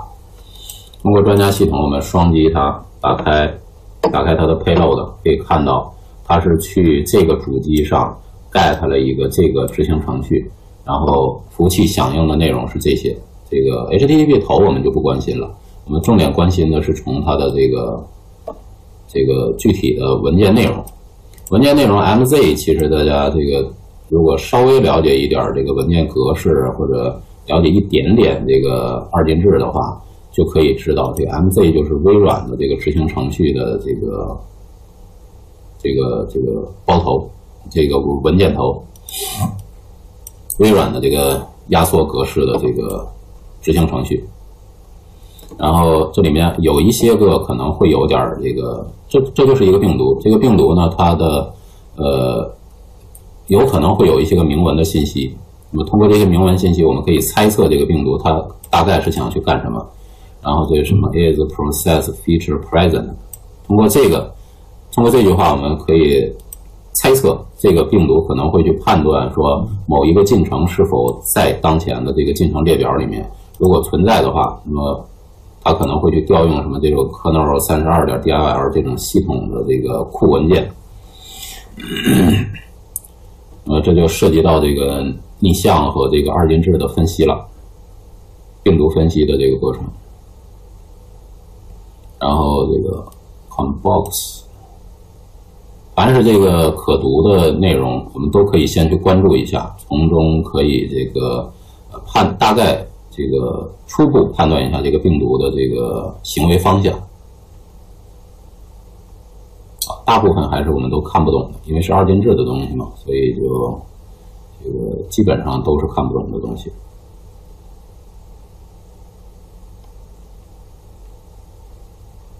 嗯，好，我们不往后看了，就然后这里面呢，我们可以把这客户端这个 get 这一块的内容把它给隐藏掉，隐藏掉之后呢，然后就剩下只是服务器端这个返回给我们的内容了。服务器返回的内容呢，我们可以把它保存出来。save server date，然后保存出来，保存成一个放到桌面的一个文件，这个放到地盘吧，放到地盘一个文件，比如说我们随便起名，叫 A，这个扩展名都无所谓了，其实叫加不加扩展名都行，我们就叫 A 吧，没有扩展名，这就是服务器这个返回给我们的内容，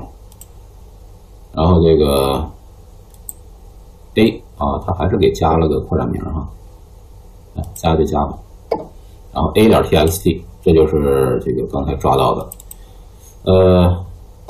但是，我们现在抓到这个东西有点问题，就是它包含了一个 http 头，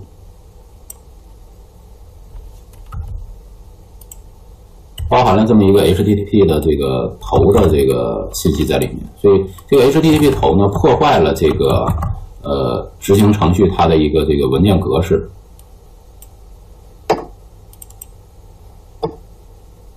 我们可以使用一些个这个这个二进制这种这个编辑器，然后把前面头部给它可以给它删删除掉，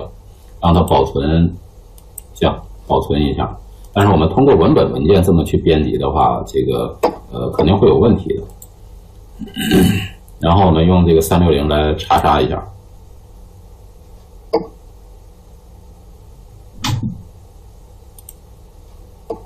没发现问题，那么因为我们刚才用的是文文本编辑器去编辑的，这个就已经其实已经破坏了它的这个二进制的执行程序的格式，所以这样保存是这样修改是有问题的。你可以使用一些个这个呃这个二进制的那种编辑器去对它进行修改，或者呢，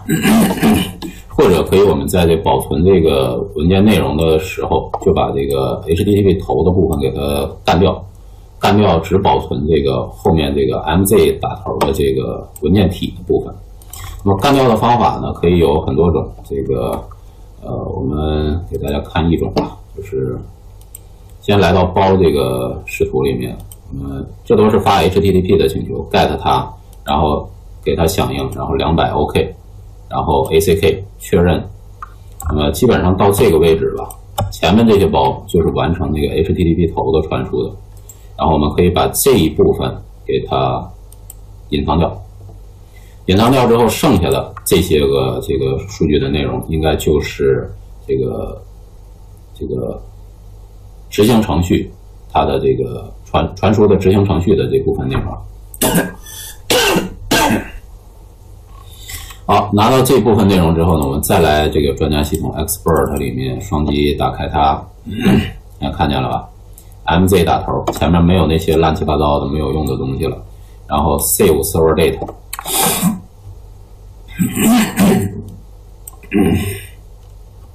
我们还是保存成 A 吧。好，保存。我刚把它保存到 D 盘上，杀毒软件就发现了，说这是一个木马，因为这是一个正确的这个可执行程序的这个格式。它是这个 MZ 打头，是一个微软的执行程序，Windows 执行程序。那么这个执行程序呢，它是一个可执行的，而且是一个恶意程序，是一个木马程序。如果在你的机器里被这个双击运行了的话，那么你的机器就中就中木马了。具体对这个文件的这个逆向的分析，那么这就不是我们课程内容了，所以我就不说了。但是呢，通过这个还原，大家已经可以掌握方法了，就是。呃，我如何把这个病毒体给它还原出来？一还原出来，因为它是执行程序，又是病毒，所以就被杀毒软件直接给杀掉了。我们都不用对它再做什么进一步的判断了，直接可以确认它是一个病毒。当然，这个包后面的东西我就不给大家看了，因为还有一千多个包，不那么详细的去说了。然后我们再看另外一个，这是属于算是应用层内容里面含有这个病毒，而内容里面含有病毒进进行的这种传输。那么通过抓包可以发现其中的异常，然后把它还原出来进行检查，发现的确是病毒，可以确认有病毒在传。那么另外呢，像一些个网络层的这种攻击的话呢，比如说像这种 IP 分段，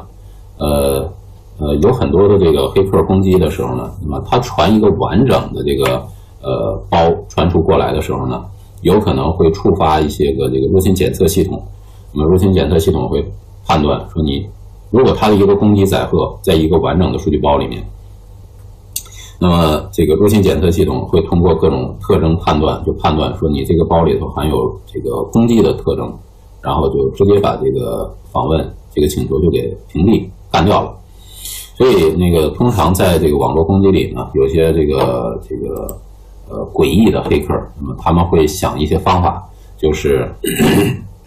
把一个不把一个这个完整的攻击载荷放到一个数据包里面，把它拆成多个数据包，然后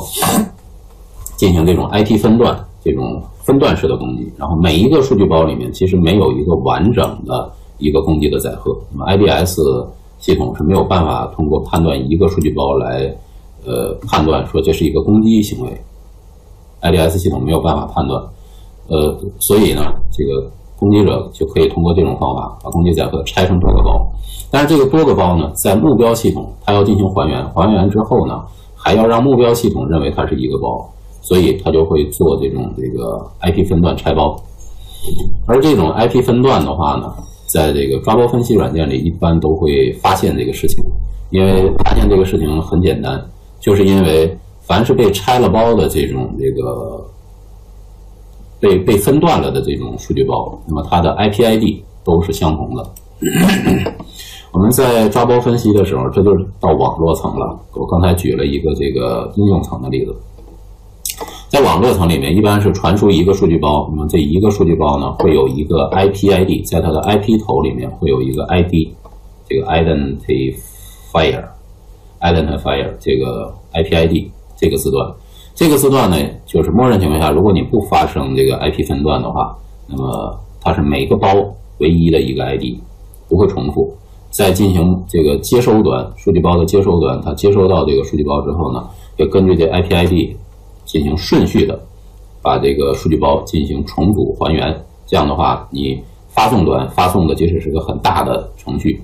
然后进行了这个分包传输，传输之后到接收端，它也可以按这 ID 的顺序，一个一个把包再重新组合起来，完整的文件还可以还原出来，拿到原始的文件。而这种 IP 分段呢？IP 分段的这个攻击，它就会是把一个包拆成两个部分进行传输，传输呢，但是它的 IP ID 是不变的。在接收端，把两个 IP ID 相同的包会进行重新组合，重新组合之后形成一个大包，这个大包里面可能就有完整的攻击载荷。所以这样的话呢，就是通过这种方式可以绕过 IDS 的一些个检测。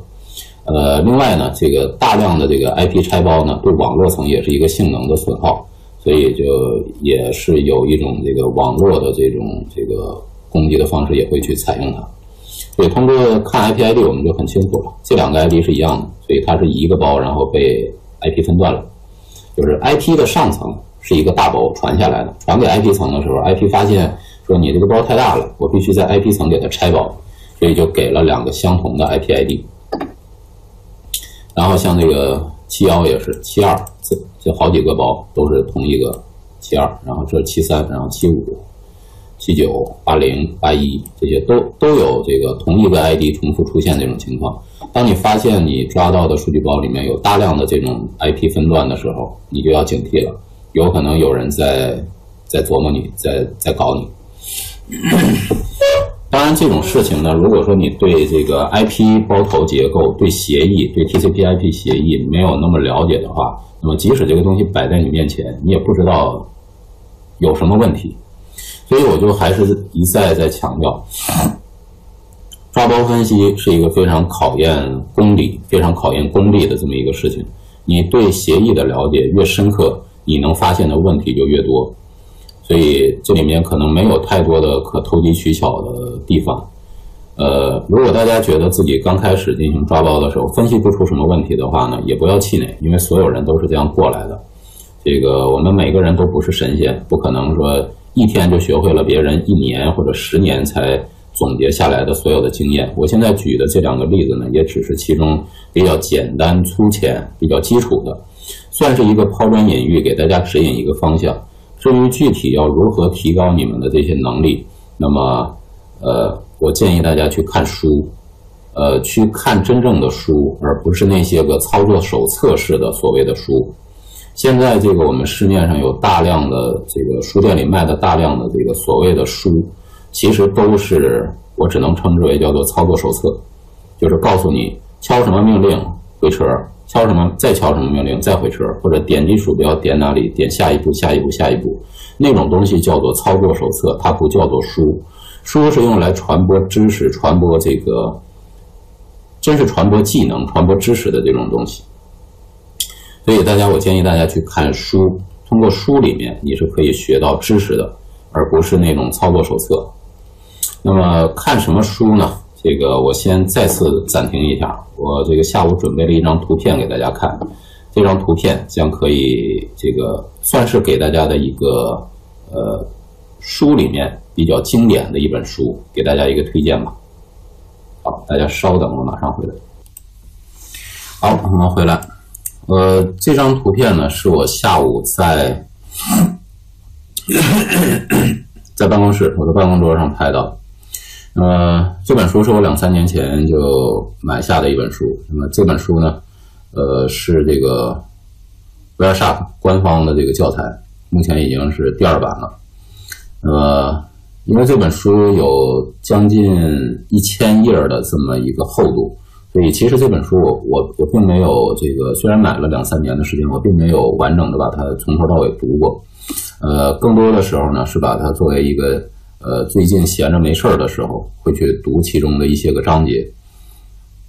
呃，因为这个抓包分析软件呢，我也用的时间比较久了，所以它基本功能我也都清楚。所以这本书呢，我觉得我没有太大的必要去。从头到尾的把它读完，但是这本书确实每一个搞这个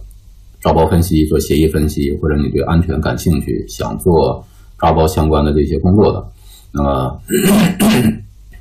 你都必须要拥有的一本书。即使你不去看它，那么它也值得你去拥有的这么一本书。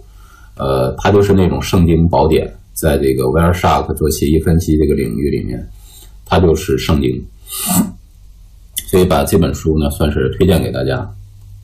呃，这本书在国内好像是没有卖的，或或者是呃，只能在国内下单，然后也需要到国外去采购。那么这本书呢，我是在这个呃，也是等了一个多月才从国外邮邮过来。呃，我建议大家去看这种类型的书，呃。从中去提高你的这个真正的技能。现在那种快餐式的呃操作手册，呃是很容易上手。这个，但是你今天上了手，一年之后你仍然是刚刚上手的这个水平和能力，没有任何提高。好，这边。这个，我们把刚才那两个这个有问题的攻击的，还有病毒的这两个呃包，已经给大家看过了。那么看完之后呢，我们回来这个卡里里面看看我们刚才处理的这个七呃七个 G 左右的这个流量，它已经处理完了。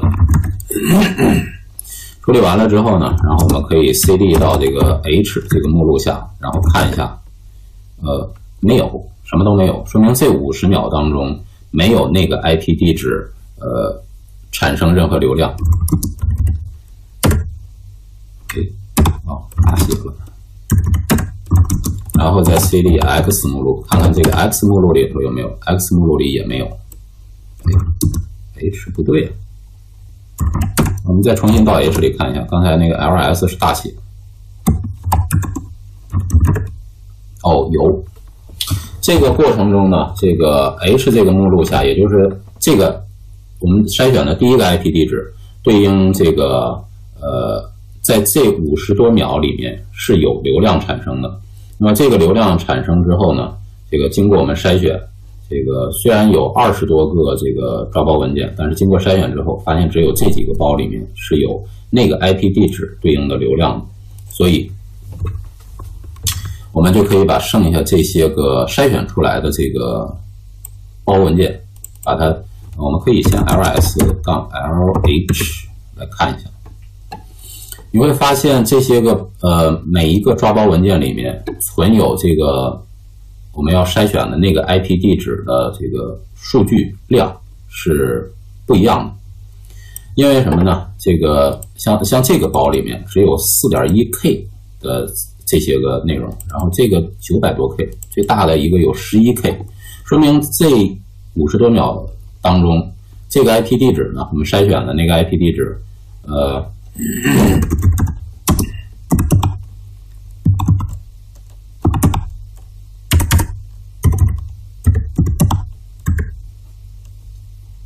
我看看存在 H 里面的是这个 IP 地址。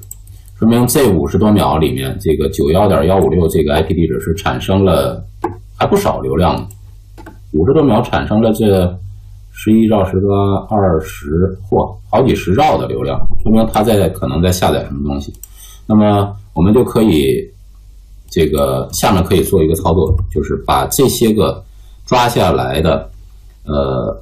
多个数据包，这些多个数据包里面呢是有这个目标 IP 地址的流量的。这些个包，我们把它合并一下，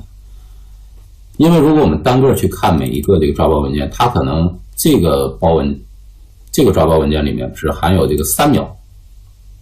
它的流量，然后这个里面可能只含有五秒，这里面可能还有十秒，这里面可能还有这个七秒，这里面还有这个二十秒，它的流量。这样的话，我们单个去分析呢，太过太过这个这个零碎，呃。效率非常低，所以我们可以把它给做一个这个合并，把这些个反正这些个包都是关于这个 IP 的，所以我们可以给它做一个合并。合并呢，这个合并之后生成一个这个呃目标文件，目标文件比如说叫杠 H，然后我们合并哪些东西呢？所有的这里面所有的包都是关于那个 IP 的，所以我们把它合并一下。合并出来就是这个 IP 在这五十多秒的时间里面的所有的流量。好，合并完了之后生成了一个 H 点 cap，然后我们就可以把拿到这个 H 点 cap 来进行这个分析了。当然，实际环境中我们可能会挑这个一天的关于这个 IP 所有的流量，我都把它摘出来，然后进行一个合并。这样的话，我就可以分析一个文件，就可以找到这个 IP 在这一天里所有的流量。好，我们到 cap 里面，H 里面这个 H 点 cap，我把它名字再改一下，改成这个 pcap。pcap 的话呢，默认就会用我的这个 OmniPick 这个软件来打开。这样的话，是我比较习惯的一个方式。啊。哦，呃，我们这样吧，我们先用这个 Wireshark 来打开它。打开之后呢，然后对它进行一个格式转换，因为这个 OmniPick 兼容的文件格式没有 Wireshark 那么多。好，我们把它 Save As，然后保存成 TCP Dump 的格式，我们随便起名吧，一二三吧。好，这样的话，TCP dump 这个标准格式是所有的抓包软件都可以打开的。好了，好，一二三点 pcap，这样的话，TC 这个 OmniPick 就可以打开它了。嗯，有什么问题吗？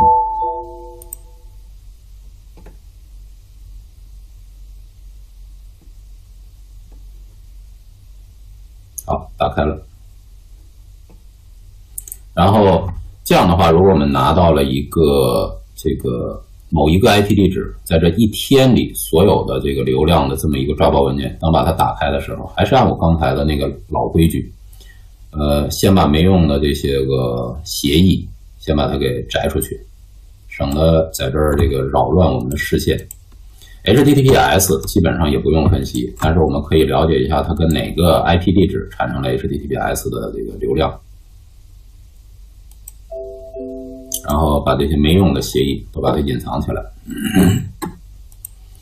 啊，当然，它跟这么多节点都产生了通信。好，HTTPS 我们先把它摘出来，选择相关包，copy 到一个。因为 HTTPS 加密，所以我们不知道里头具体传的是什么东西，也只能通过这个 IP 地址来进行判断一下。呃，它还同时跟多个。目标地址产生了 HTTPS 的通信，呃，但是但是呢，这个似乎 IP 地址段是比较这个接近的 IP 地址段，所以这个时候我们呃通过这个通过这个内容这个 payload，我们是什么也查不到这个有有价值的信息的，所以只能是呃在调转方向向这些个 IP 地址。发出一些个扫描啊、探测呀、查一查它的信息呀、它的注册信息啊等等，通过一些个旁路的方式来获取一些个信息。那么，呃，这其中有一个这个 HTTP 的流量呢，我们可以看到其中 Spynet 点微软点 com，这是微软，这是去微软网站的一些流量。然后 Washington Raymond。呃，微软的 Server C 啊，这应该是在做这个证书交换的时候。证书交换的时候呢，会这个首先我们访问 HTTPS 网站的时候，首先都要先获取服务器的这个公钥，所以这个服务器会先把它的公钥证书发给客户端。对这个公钥证书里面呢，会有一些明文信息，我们是可以看得见的。但是后续的数据的传输就都已经被这个证书所加密了，所以后面的内容就看不见了。但是通过这个呃证书的内容呢，我们可以看大概判断一下，说这个证书是谁发布的。那么，而且通过域名大概判断一下，这应该是跟微软的服务器进行的这个通信。Spynet 前端点 dc 二点 cloud app，呃，我还真不太确定这到底是在做什么，但是应该是和微软的网站产生的一些流量。难道是微软的这个呃？反间谍的这么一个应用呢，这个不太确定。总之，证书应该是这个微软发布的，啊，这个就需要做旁路的，在更多的信息收集和侦查了。呃，就做我们这个渗透测试，可以对这些 IP 地址做一些渗透测试。好，那么 HTTPS 的看完之后，把它隐藏起来。那么 UDP 的。UDP 的基本上都是 QQ 了，这个基本上不用看。呃，我们这个呃基于协议，好，基于协议来进行筛选，把它们 copy 到一个新的位置上去。那我可以看一下它的这个，哎，这个原目的端口还，嚯，这么多个 IP 啊！我们，通过这个视图看一下。我们 UDP 对这么多个 IP 产生，这也有点可疑了。这个不太像是这个 QQ 了，QQ 应该是使用这个 UDP 的这个八千端口，四千吧，四千和八千这些端口，但是它用这个 UDP 的七幺二幺好像重复出现的这么一个端口。我们可以上网搜一下，说七幺二幺这个 UDP 端口对应是什么应用。然后呢，这个我怀疑啊，有可能我就不搜了啊。这个我怀疑有可能是这个某些个视频的这个网站，基于 UDP 来传输视频，或者是这个 BT 下载类似这类似的类似这样的这个东西。所以否则的话，这一个 IP 地址不可能跟这么多个 IP 地址同时产生这么大量的这个绘画信息。所以这个肯定不是一个什么好东西。好吧，我们不管它具体的内容了，然后这个大概分析一下，觉得没有问题的话，就把它给隐藏掉；有问题呢，就接着查。所以这个具体能需要查多深，这个完全没有底儿。然后下面就是一点点的 TCP 和百分之九十九点九九的九九一的这个 HTTP，HTTP 的我们就可以多看看了。这又是明文，二进制的流，这又又是个 FLV，那么这应该是一个视频文件，应它应该是在看视频。那么如果说这个对应到看到后面的这个呃这个域名的话，我们就可以直接判断了。呃，通过反查这个 IP 呢，看看它能不能解析成一些域名的话，也可以这个判断一下。它是不是某些域名的呃某某些视频网站的 IP？然后下面像这种，这就是直接访问这个网页儿，然后呃这是访问了一些个网站，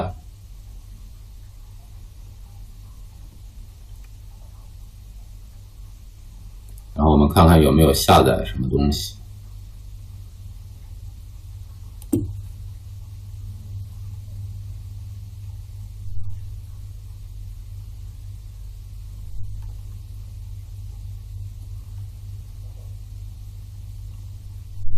这样的话，这个文件其实就没没有那么大了，我们就可以比较快速的把它里面所有的这个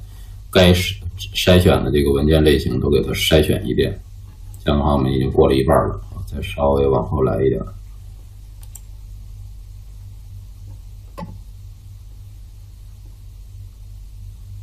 See Spiderman，难道有爬网吗？奇异 Picture，这应该是啊啊，这域名已经显示了，这个爱奇艺的，爱奇艺这种视频网站，然后他也在这个访问 QQ，我们看看有没有这个应用程序可以下载。我一直想找一个这个传输的。DOC 啊，或者 EXE 啊这样的，然后通过直接把它给还原出来的，想给大家做一个演示，但是好像始终没有抓到，好吧，没有了。好，基本上这个，嗯，初步的一些个协议分析就到这里了，然后更细致的，那么具体到某一个这个绘画里面一些个异常行为的话，那么。我就不再去给大家继续说了，呃，那么关于这个抓包软件呢，这个大家去多使用一下吧，这是我比较推荐大家去使用的一个抓包分析的工具，呃，很好用的。啊啊，这这里面稍微再给大家多说一句吧，就是这个关于这个呃抓包这个 log。呃，log 这里面呢会给大家提示一些个信息。那么抓包分析软件它会自动的对这些个数据包来做一些个分析。那么分析之后，它会给出一些个提示，说比如说这个专家系统提示了，说 TCP 的重连尝试，呃，产生了大量的重连尝试。那么从哪个 IP 地址到哪个 IP 地址？既然这么大量的重连，有可能是网络这个出现了一些故障，或者网络拥塞，呃，造成丢包或者这个设备故障等等这些原因重连。然后如果说这个有一些个特别明显的问题的话，这个它也会提示出来，说这个 HTTP 响应慢，这个有可能是服务器那边性能出问题了等等这样的这些个信息也是我们可以关注一下的。好，基本上这个手动分析的话呢，呃，就大概其就是这样了。呃，这个常见的问题呢，基本上这个用我刚才的介绍这些方法也都可以，呃，常见问题都可以处理了。然后这个唯唯一一个给大家再提一个这个辅助的手段吧，就是抓包分析呢，这是一个非常繁琐的事情，你很难在。很难百分之百的保证说你经过经过你分析的这个数据包文件里面所有的问题你都可以去发现，那么有些东西你可能真的是肉眼看不过来那么多东西，有可能会有疏漏，所以这个时候可以作为一种补偿性的一种呃措施呢，就是你可以把抓到的这些数据包给它直接重放到一个 IDS 里面，就类似于我在无线安全里面这个倒数第二节课里面给大家演示的那种方法。你可以把这个抓到的数据包重放到一个 IDS 里面，然后由这个 IDS 去帮助你去利用它的规则自动化的先去过一遍，有什么问题，有什么重要的显而易见的问题，它会提示给你，然后以这个为导向去辅助你的这个人工的手动的分析。呃，这样的话可以可能更能提高一些工作效率，然后更尽快发现一些问题，好吧？基本上，呃，关于抓包分析这一块呢，我就给大家说这么多吧。呃，好，就是这些了，谢谢大家，这一小节课结束了。